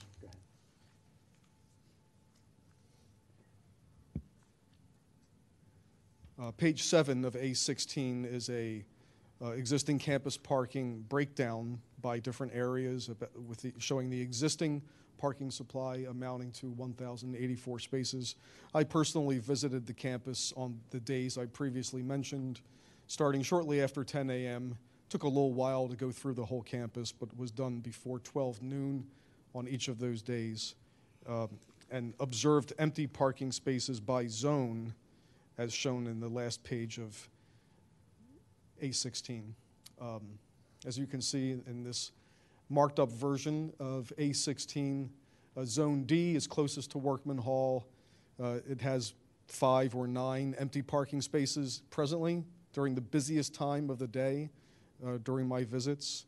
It's uh, interesting to note that some other zones that are nearby, namely E, H, and J, have many uh, dozens of empty parking spaces. And again, this is during the busiest time of day for classes. What this application is really about is essentially performance oriented and will uh, tend to have peak parking demands probably more in the evenings when there'll be even more parking available than what I observed uh, during these late morning weekdays. And how many available unused spaces did you find in your study? So as you can see near the bottom of this table from page two of A16, on the busier of the two days, there were still 250 empty parking spaces in total on campus, which I believe you noted is about a 23% vacancy campus-wide. Um, Within a reasonable degree of scientific certainty, do you have an opinion on the anticipated parking demand from Workman Hall and the campus as a whole um, uh, on campus? Yes. And what is that opinion? Uh, My opinion is the proposed expansion will result in a de minimis additional parking demand, if, if any, and the existing parking demands are well met by the existing school's parking supply. And under the same standard, uh, do you see, in your opinion, any adverse parking impacts uh, from the construction of uh, Workman, or the addition to Workman's Hall? No. Thank you, that's all I have. Any questions from the board? Okay, thank you. Um, That's all we have, just would request exhibits be be made part of the record, please. Uh, Without objection, any uh, public comment? Seeing none, uh, take a motion. John, you want to go uh, four for four, three for three, where are we? Uh, Mr. Chairman, uh, I would move that the applicant be, excuse me, granted the relief requested in the application uh, from Section 280-103B with respect to uh, the uh, parking space issue and the steep slope requirements of Section 280-112D of the code, all in accordance with the plans and testimony that has been offered this evening. Is there a second? Second. Any board discussion? No? Okay, we'll take a vote. Bud? Uh, yes. John? Aye. John? Aye. I'm also in favor. Good luck with the project. Thank you. Good luck. Thank you so much.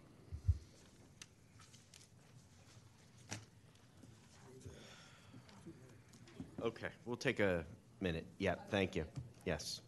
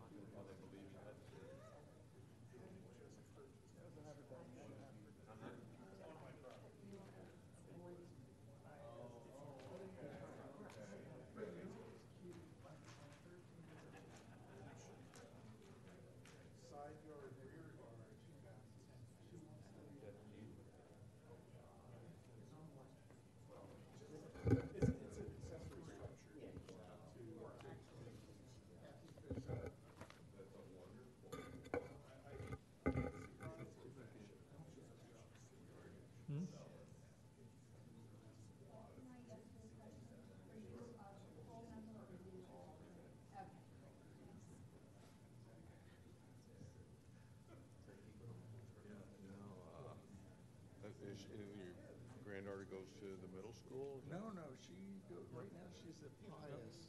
Oh, 'cause her- oh, Her okay. father teaches there. And where's Pius? Over on Lawrence Road. Okay. Lawrence Park is below. Yeah, yeah, no, I- yeah, yeah. And, um, next year she goes to high school. Radnor or No, Pius? she's in private school. Wow, good for And her. then she's in the process right now of uh, applying. Uh-huh. And she got a great phone call the other day. Uh, Her favorite of all the schools she's visited is Merion Mercy. Oh, And she oh. got a call from them that not only was she accepted, but she would be given a scholarship for academics so that it would cost her, cost them no more than five thousand a year. Wonderful. Well, That's I've had uh, friends whose daughters have gone there, and it's just, you know, it's a warm, family, caring kind of place. And so, Very intellectually does stimulating. the buses take her there? I have no idea that, Yeah. that yet, but by law they have to train. But, uh, you know, one way or another, it'll work. Yes. I mean, she could actually go over to Bryn Mawr. So she didn't want to go to Radnor, like the Catholic school? Well, that and girls, Huh? girls' Yeah, yeah. She, uh, you know, Is that your only grandchild? no, I have, uh, she has a brother that's two years younger.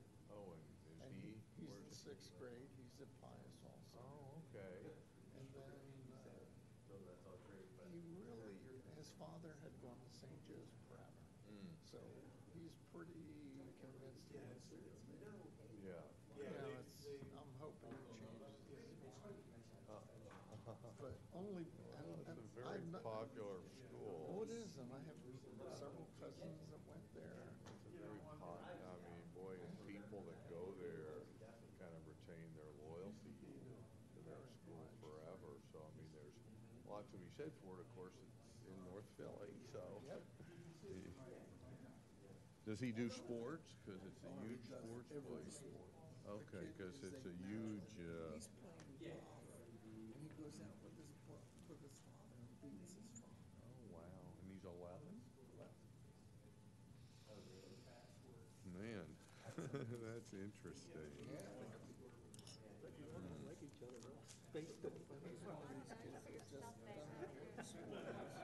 Uh-huh. Let's see. Six foot, six feet separation. Yeah, there you go.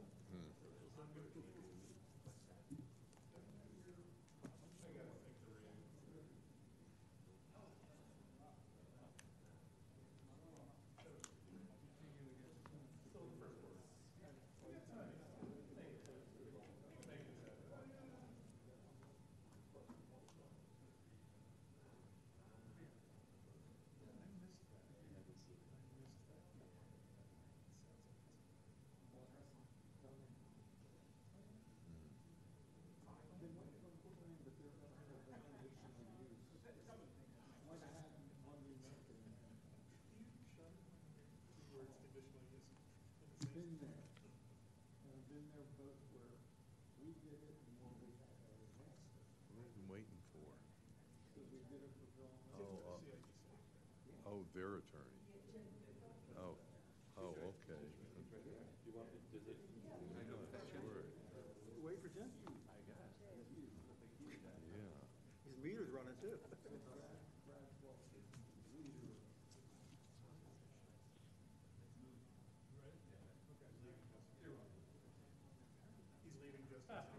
Yes, I guess so. There's Jim. We're the, uh, we're the tail draggers tonight, huh? Yeah. We're back on the record? Back on the record? Yes, okay. Uh, Appeal number 3170, the applicant John and Karen Newton, property located at 946 Mill Road and zoned R1-DM, residential density modification. Applicants seek a variance from the provisions of Code Section 280-97B4 in order to construct an exterior freestanding elevator within the front yard setback at the rear edge of their front parking area. In the R1 district, a 60-foot front yard is required. The proposed elevator shaft structure will be located approximately 50 feet from the right-of-way. Council? Good evening, members of the board. Jim Greenfield on behalf of the applicants. Um, The uh, quoted language from the code is in the density modification uh, part of the code. And what it essentially says is you can't have any accessory structures in the front yard. The township has deemed this uh, proposed elevator to be an accessory structure, and um, we, uh, uh, by necessity, as we'll show you, we, uh, we want to build it 10 feet into that front yard. Uh, So that's what we're, why we're here for the variance. It's, uh, I suppose someone could make the argument that it's de minimis. It's uh, 10 feet into a 60, so that's 16 or 17 percent, fairly close to being de minimis, but, you know, right in that, right in that neighborhood anyway. For our first witness, I'm going to call John Newton.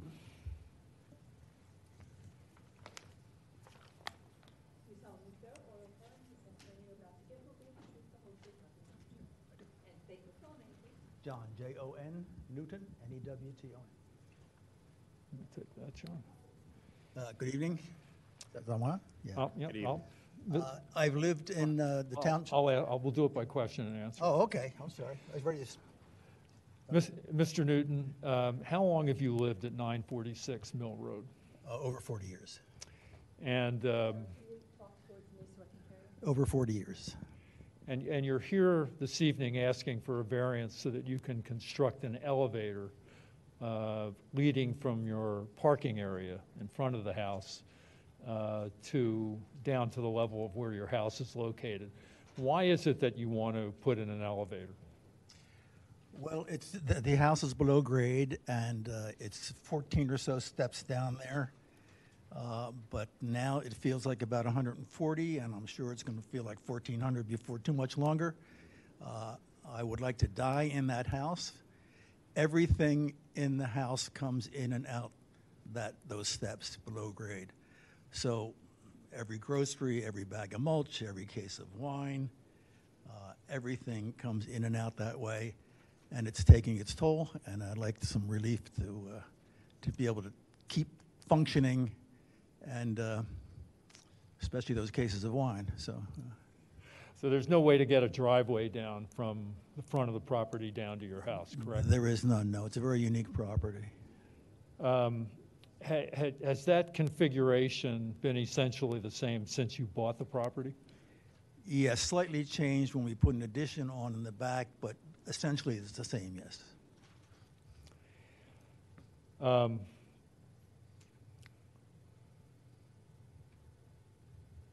Have you um, encountered difficulties moving groceries and other things up and down those steps? Yeah, uh, indeed. I am uh, not getting any younger, and uh, it's, it's getting more and more difficult. I'm 85, and it's keeping me young, but it's also killing me. so, Have you uh, looked at other solutions to move things from the parking area down to the area of the house? uh, there really aren't any. Uh, there's that one narrow entrance point there that uh, that's to the property. There's no other way to get into the property. I'm locked on both sides by neighbors, in the back by a creek, in the open space from uh, Fox Fields. So there's no other way to get in. Okay. Uh, That's all the questions I have for Mr. Newton. Does the board have any questions for him? Uh, You said you were 85. What- And maybe afterwards, you can tell me the type of wine you drink? Red or white? Yeah, we could talk. We could talk. we could certainly talk about that. Okay. For our, uh, for our second witness, we'll call Jeff Spoelker, who's the architect.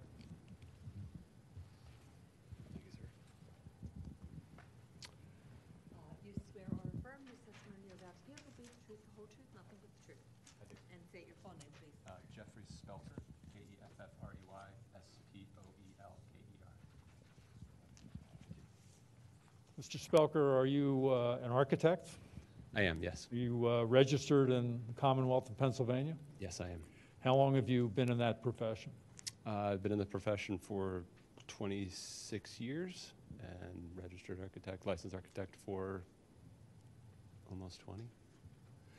Have you uh, previously been qualified as an expert witness in proceedings before municipal boards? I have, yes. On how many occasions? A handful, let's say eight or nine. Uh, We would move that Mr. Spoelker be qualified as an expert architect. Without objection.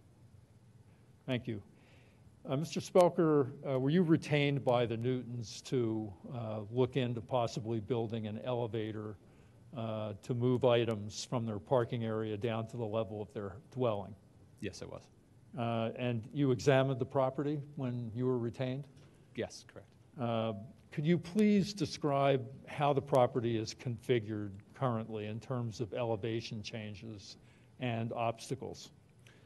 Well, as you can see from the site plan, this is a very unique uh, uh, circumstance, very unique property, uh, in that the driveway coming off of Mill Road um, is separated by the lower elevation where the house is set by 10 to 14 feet, depending on where you are on the property. But it's about a 10-foot drop from the parking lot, or the parking, the driving area, to the lower level where, the- at the bottom of the stairs, you can see here at the bottom of the steps from, from this location to this location. That's, that's currently existing. There's a break in the wall um, where the stairs drop, the stairs take them down to the lower level, the 1,400 steps that uh, Mr. Newton was referring to. Uh, Between the area uh, where you propose to place the elevator and the street, what's there? Between the elevator and the, and with the street, there's currently a, um, you mean the? Mill, Mill Road is at, Mill Road is at the, to the right of this plan, correct? Correct, yes. Mill- Right. There's Mill Road, and then there's a driveway. Right. And then you're talking about the access. Right. Right, the- currently, right now, there is a, there's a break, like I said, there's a, there's a break in the wall um, that's about three feet above the driving area, and that gets you to a platform, the top landing, and then you can take a left, basically, and go down the, the, uh, the L-shaped stairs that take you down to the bottom. At the top, there's also a small, I guess I'll call it a shelter. There's just two columns with a small little roof that has um, asphalt shingles on it, um, that the two columns sit on top of, sit on top of this wall. Jim, And- you- do you want to identify the plan? Yes, all, all the exhibits that we are going to show the board are actually part of the, uh, uh, of the application package that we submitted, so we're not going to mark anything new. And I guess uh, the plan we could call, I, I mean, I assume the entire application package is Board Exhibit 1, is that fair? So we'll call it, can we call the Plan 1A? Why don't we make the application A1, we'll make the plan A2.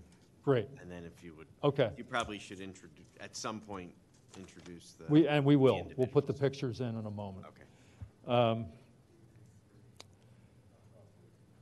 Yeah, that's fine. We'll do the deed as A3. Do you want to mark the photographs separately or just in total? Um, We can do them separately, if you want? Okay. You want to do that now, or you want to wait until we finish talking about the plan? All right. All right, we'll keep going for a little bit. Um, Mr. Spoelker, what's the, uh, the uh, elevation change from the parking area down to the uh, grade level of the dwelling? Uh, It's about, it's about 10 feet, nine and a half feet from the top of the wall, excuse me, from the parking area down to the bottom of the steps. Uh, Is there any way to take a driveway or some other form of access from Mill Road down to the level of the house? Not within, not within the property bounds, no. Um, The uh, location that you've selected for the elevator, how did you uh, uh, come upon that location? Well, in, in reviewing the location uh, for the elevator, it seemed um, pretty apparent that this was the, I'll say, the correct location. Um, There is, as I mentioned, there's, a- there's currently a break in the wall that gets you to the top of the stairs. Um, So that entrance is already there, so there would not be any additional work that would be done at the top of the stairs to get through the wall. Um, And when you get to the bottom of the stairs, there is a pad, there's basically a concrete pad that gets you kind of underneath where that pavilion or that little shelter is at the top of the steps. So where that is, where we're trying to locate, suggesting to locate the elevator, it's on existing impervious coverage, so we're not, we're not asking for any, uh, any change in impervious. Um, So we're trying to keep it within, within the the existing impervious coverage. Um, There's already a structure there, as I mentioned, on top of the wall. It's kind of an entry, uh, I'll call it an entry pavilion or entry shelter, um, so that, that the elevator would, although a little bit larger roof, it's only going to be maybe a foot or two higher than the existing roof. So, you know, from Mill Road, from the parking area, there would be very, very minimal amount of visibility. Um, most of it obviously be on the Newton side of the, of the, uh, of the, of the wall. Um, and then it's, it's pretty clear also that there's a reason why those stairs are over there. It's because that's actually the farthest from the road, farthest from, you know, farthest away from this, you know, or the closest to the front yard setback, I should say. Um, so the idea of keeping it over there, it's actually as minimal, invasive as possible um, from tra- foot traffic, vehicular traffic, visibility, even from the neighbors. Is there any place else along that area of the wall where the elevator could be located? Theoretically, yes, but it would, as I mentioned, it would be closer to the road. It'd be more, it'd be more difficult to, to put it. There'd be more work that would need to be done to the wall if it was in any, any other location. This wall has already been reinforced in this area because of the stair. There would not be any interruption or any changes to the existing wall itself. Everything that we're, we're proposing is going to be, is separate from, but connected to the, to the wall and the driveway. Is the location of the uh, proposed elevator shaft as far from Mill Road as you could place it? Yes. Let me show you a couple of pictures. Uh, Is the, is the proposed elevator shown on the, the plan that you have in front of us? Yeah, it's in this. That's what I It's thought. this, it's this kind of uh, hatched area. I think, we- I think, I don't know what exhibit it might be. There's, there's a closer up plan, I believe, as part Yeah. of the, um, What are the, part of the submission. what are the dimensions of the proposed elevator shaft? It's, it's six feet, it's six feet, I'll say, north to south, um, and the full structure is about eight feet long, so it's only six by about eight feet, and this, the elevator itself would be about six by six. Where's the entrance to the house? The, there's multiple entrances to the house, but the primary entrance is here, and then there's also a secondary entrance in the back here. So you would take a walkway from the elevator to bring the Correct, which- into the house? and- Correct, and it, and it does, uh, as, as, as you pointed out, it's, it does already exist. There already is a walkway from the bottom of the stairs on this pad, which is, this is all pad, and then there is a current walkway that takes you to both of these entrances. And where's the current parking? Where would the parking be for? it? Right now, you can see this is the edge, this is the edge of paving. So Uh-huh. right now, there's a little bit of a loop here. It's pulling off, pulling off of Mill towards this area, towards the, the entrance. So much of the time you would stop there, drop off whatever it is you're bringing into the house and then go park? Is that? Yeah, I mean, I think I, Mr. Newton could speak to this clip better than I could, but I believe they, they basically park right, they, they park right near there. Oh, they park This there. is all, this is all paved in front of, in front of that entrance. Pictures will show it a little better. Let's um, call that one at A2, is that how we're doing it? We're going to be A4, okay. Um, Mr. Spoelker, would you please uh, tell us what A4 is and from what perspective it's taken? This is a photograph taken uh, basically from, just as you pulled off of Mill, um, directly, looking directly at that, that entrance, that break in the wall. Um, And you can see the parking that's all around it, so I believe that's kind of, as Mr. Newton said, um, they basically park there, and that's, that is their one and only access to their, to their house. And um, the elevator shaft would be placed where uh, in this picture? The, the, the intent is that we would walk straight through, but instead of taking a left to go down the stairs, you'd walk straight into the elevator shaft, so right where that, right where that planter is with the flags, and it would, like I said, the, the roof would be minimal amount of, of visibility above, above the existing. So you're basically looking straight through it. That shelter would be in front of the elevator.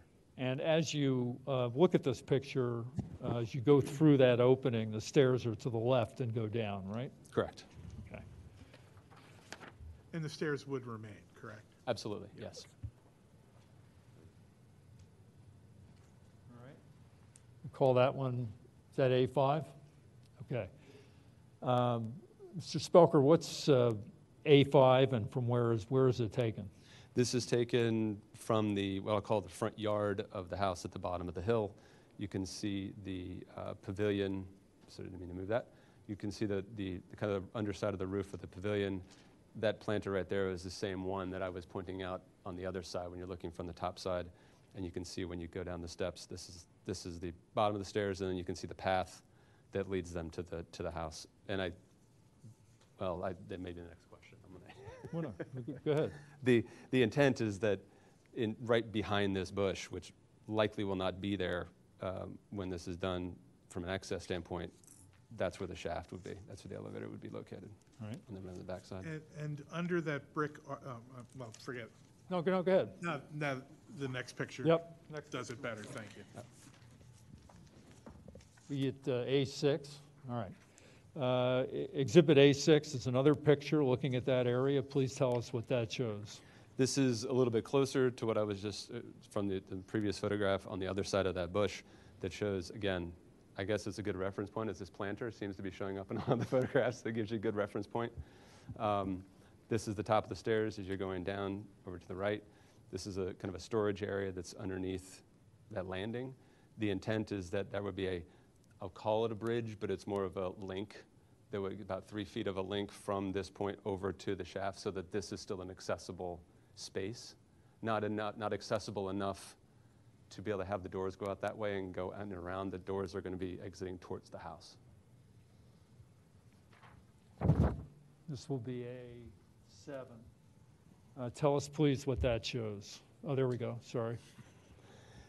This is the, um, where is this? What is this? This is, this is the bottom, sorry, it took me a second to disorient myself. Um, this is the bottom of that, actually, I could, can I show the two photographs at the same time? Yeah. Because this is, this is basically this wall, this here is this the same stone. This is just looking at the same, there's a kind of, basically just a small little stucco wall that's, that's kind of protecting this, this uh, storage area.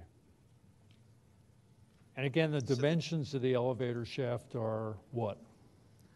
The elevator shaft itself is likely going to be about six by six, but then there's going to be that two to three foot kind of connection that, that bridges basically over the top of this area that I was, that I was referencing before. So th- again, it's almost freestanding with just a, just a kind of platform link so that the goal is to not mess with any, really any of this, aside from basic construction debris and, you know, just, just cleaning things up and making that connection. But, the- but the elevator will be, the elevator is double doors then? I'll The idea is that, yeah, so it'll be double-sided. You go in one side, we're going to drop down the, the 10 feet, and then you're going to exit the other side. Because otherwise, in order to, in order to, um, in order to make it so you go in, go down, and come out of the same location, we would have to pull it further away from the wall. So then you would actually be exiting the elevator and facing this door. And with those buttresses there, it was really going to, I mean, to be honest with you, it was going to push it out another three, four, five feet and we were trying to stay within the existing impervious. We were trying to get it so it was, it was a little tighter to the stairs. So we felt like the idea of trying to have the double doors made sense. I, I don't know if I understand the variance then. Where, where is the sixty-foot setback? Oops, sorry. The, Right, The, the Yep, plan sorry. shows the, um, the This- edge of the right-of-way. This, this line right here is actually the 60-foot front yard setback. Right. And this is the, the- this right here is the edge of the right-of-way from Mill Road. And that's, that would be 60 feet in. As you'll see, it's about roughly 10 feet inside of that, I- the front part of it. I understand. Okay, thank you. Make this uh, A8. Um, Could you, could you tell us, please, what that drawing shows? This is, what this is showing is um, basically a side elevation. This is the existing, uh, we can call it the entry pavilion. This is the driveway area. And when you come through that pavilion, you're going to walk straight into the elevator shaft, the elevator pavilion. And you can come down the steps, kind of, this, this drawing shows the steps kind of coming towards you and then down. And then this is the photograph, basically looking back up, the one that had the bush in front of it, Um, Looking back up towards the, uh, to the stairs that are on the right, they go up behind the pavilion. Um, That's, In, in your opinion, uh, as an architect, is, is this proposal uh, consistent with the uh, residential use of this property? yes, yeah, I mean, it's consistent with its, uh, with, in material, it's consistent in uh, the, the kind of the- the residential need to, to be able to access, a, you know, 10-foot vertical separation. Will the implementation of this plan have any adverse effect on neighboring properties? No, not that I'm aware of. Uh, Will it make any alterations to traffic patterns or access to this property? No, Uh, Will it affect, in, uh, will it, will it affect the provision of public services in any way? no, Uh, Will it have any adverse impact upon uh, township health, safety, and welfare? not that I'm aware of, no. And I think you've already indicated that it will not much affect the appearance of the property from the street, correct? Correct. The, the, the roof of this is, as you can see from this drawing, the roof of this is maybe two and a half, maybe two and a half feet above that, that kind of low, that low profile shelter that's, that's right at the entrance. And which is, it's also behind it, by the way, too. There's a little bit of a depth perception, too. The board have any questions for Mr. Spoelker? I have uh, one other question. This is on A2. Uh, The exit doors from the elevator, Mhm.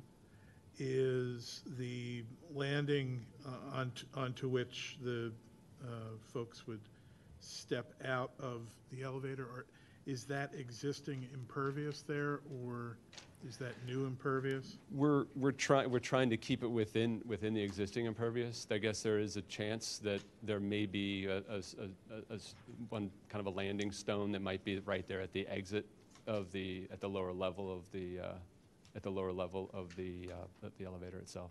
Okay, because I, I asked that question because as I read the plan, the property is currently non-conforming as to impervious? I believe that is correct, yes. So to the extent that Yeah, in the that's right. course of doing the construction, the decision is made to add a landing area there, which, which makes sense. I mean, um, particularly if one of the uses is to be carrying things of, you know, that are bulky or heavy or whatever. You know, you, you would expect that to be a, a solid landing area. Uh, So the, the plans are a bit imprecise as it relates to just what that is going to look like. Uh, And given the, given the non-conforming status of the property currently, that would presumably require relief? If, if we go in for a uh, permit and, and it appears that we're going to have to add any, any impervious, I assume that we might have to come back for relief unless the township deems it to be so de minimis as to not require that.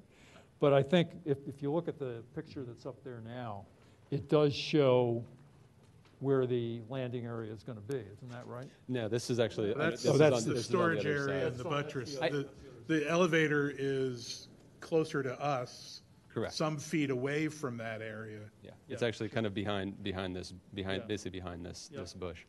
I, I can, I can, what I, what I can tell you is it's exactly what Mr. Greenfield was saying, that um, if, if in the course of construct, or not construction, in the course of developing the permit drawings for this and the submission for permit, it looks as though we're going to need a landing of, let's say, I'm going to say it's a three-foot by four-foot landing, just making up a, making up a number, that if you look at this, as you can see, this walkway is not really conducive to what potentially that may need to be in terms of that, that walk, but it is also impervious. And it also isn't necessarily the most efficient way of getting from one, from point A to point B, that I'm, I will venture, I guess, so we could, we'll find that, that three foot by four foot square footage to make it so that it is a, a net zero, that there will not be any, there will not be any uh, petition for coming before you again for, for an additional ground coverage. So, so no plans have been filed with the township for this project as of? We have not, no, we, we, we Does needed relief from you for this variance Well- before we could ask for a building permit, yes. Well, I, usually there's a filing, then there's a finding that you need a variance, then you come to us. We're a little backwards here, and this smacks of an advisory opinion as opposed to a determination off of the basis of a decision of a zoning officer, doesn't it? Well, I, I, th- I think w- we did, We actually, we actually, we actually did meet. I met, I met informally with the, with the zoning officer um, some months ago. Um, walked through basically this entire project with him, and he suggested to us that, that a variance would need to be um, uh, submitted for, um, petitioned, and granted. Um, and there was no reference to let's let's get a let's get a building permit submission first, and then we'll make that determination. I, I, we were just going off of what what uh, Kevin was telling us.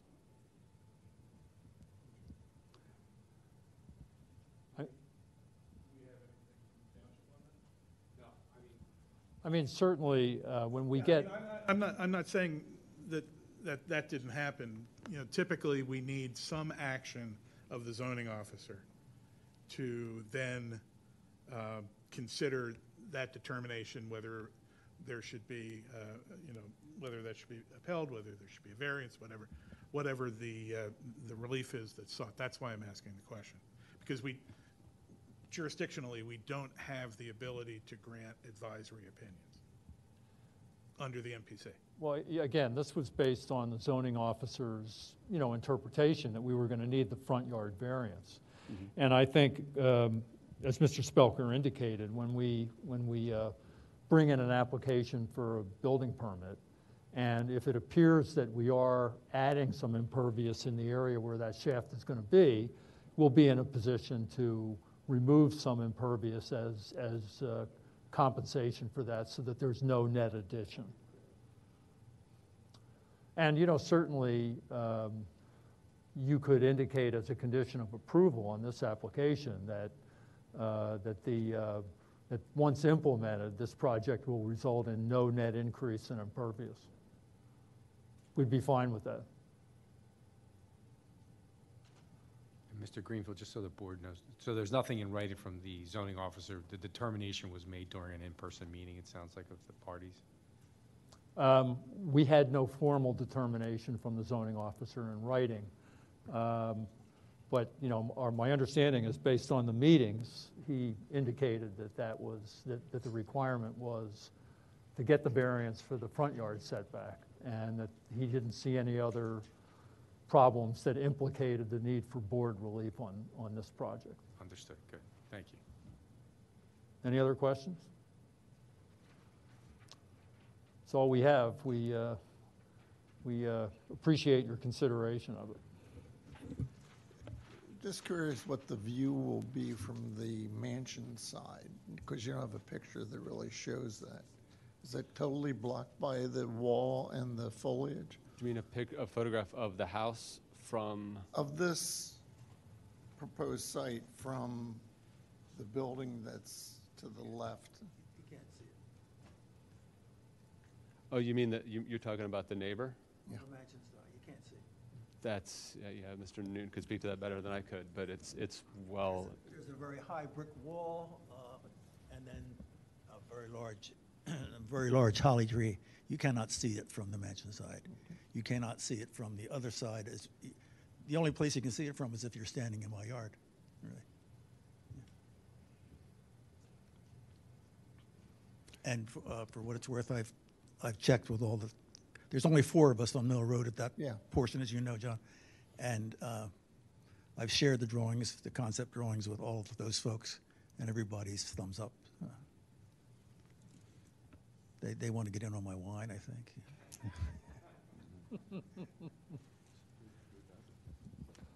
Any other questions?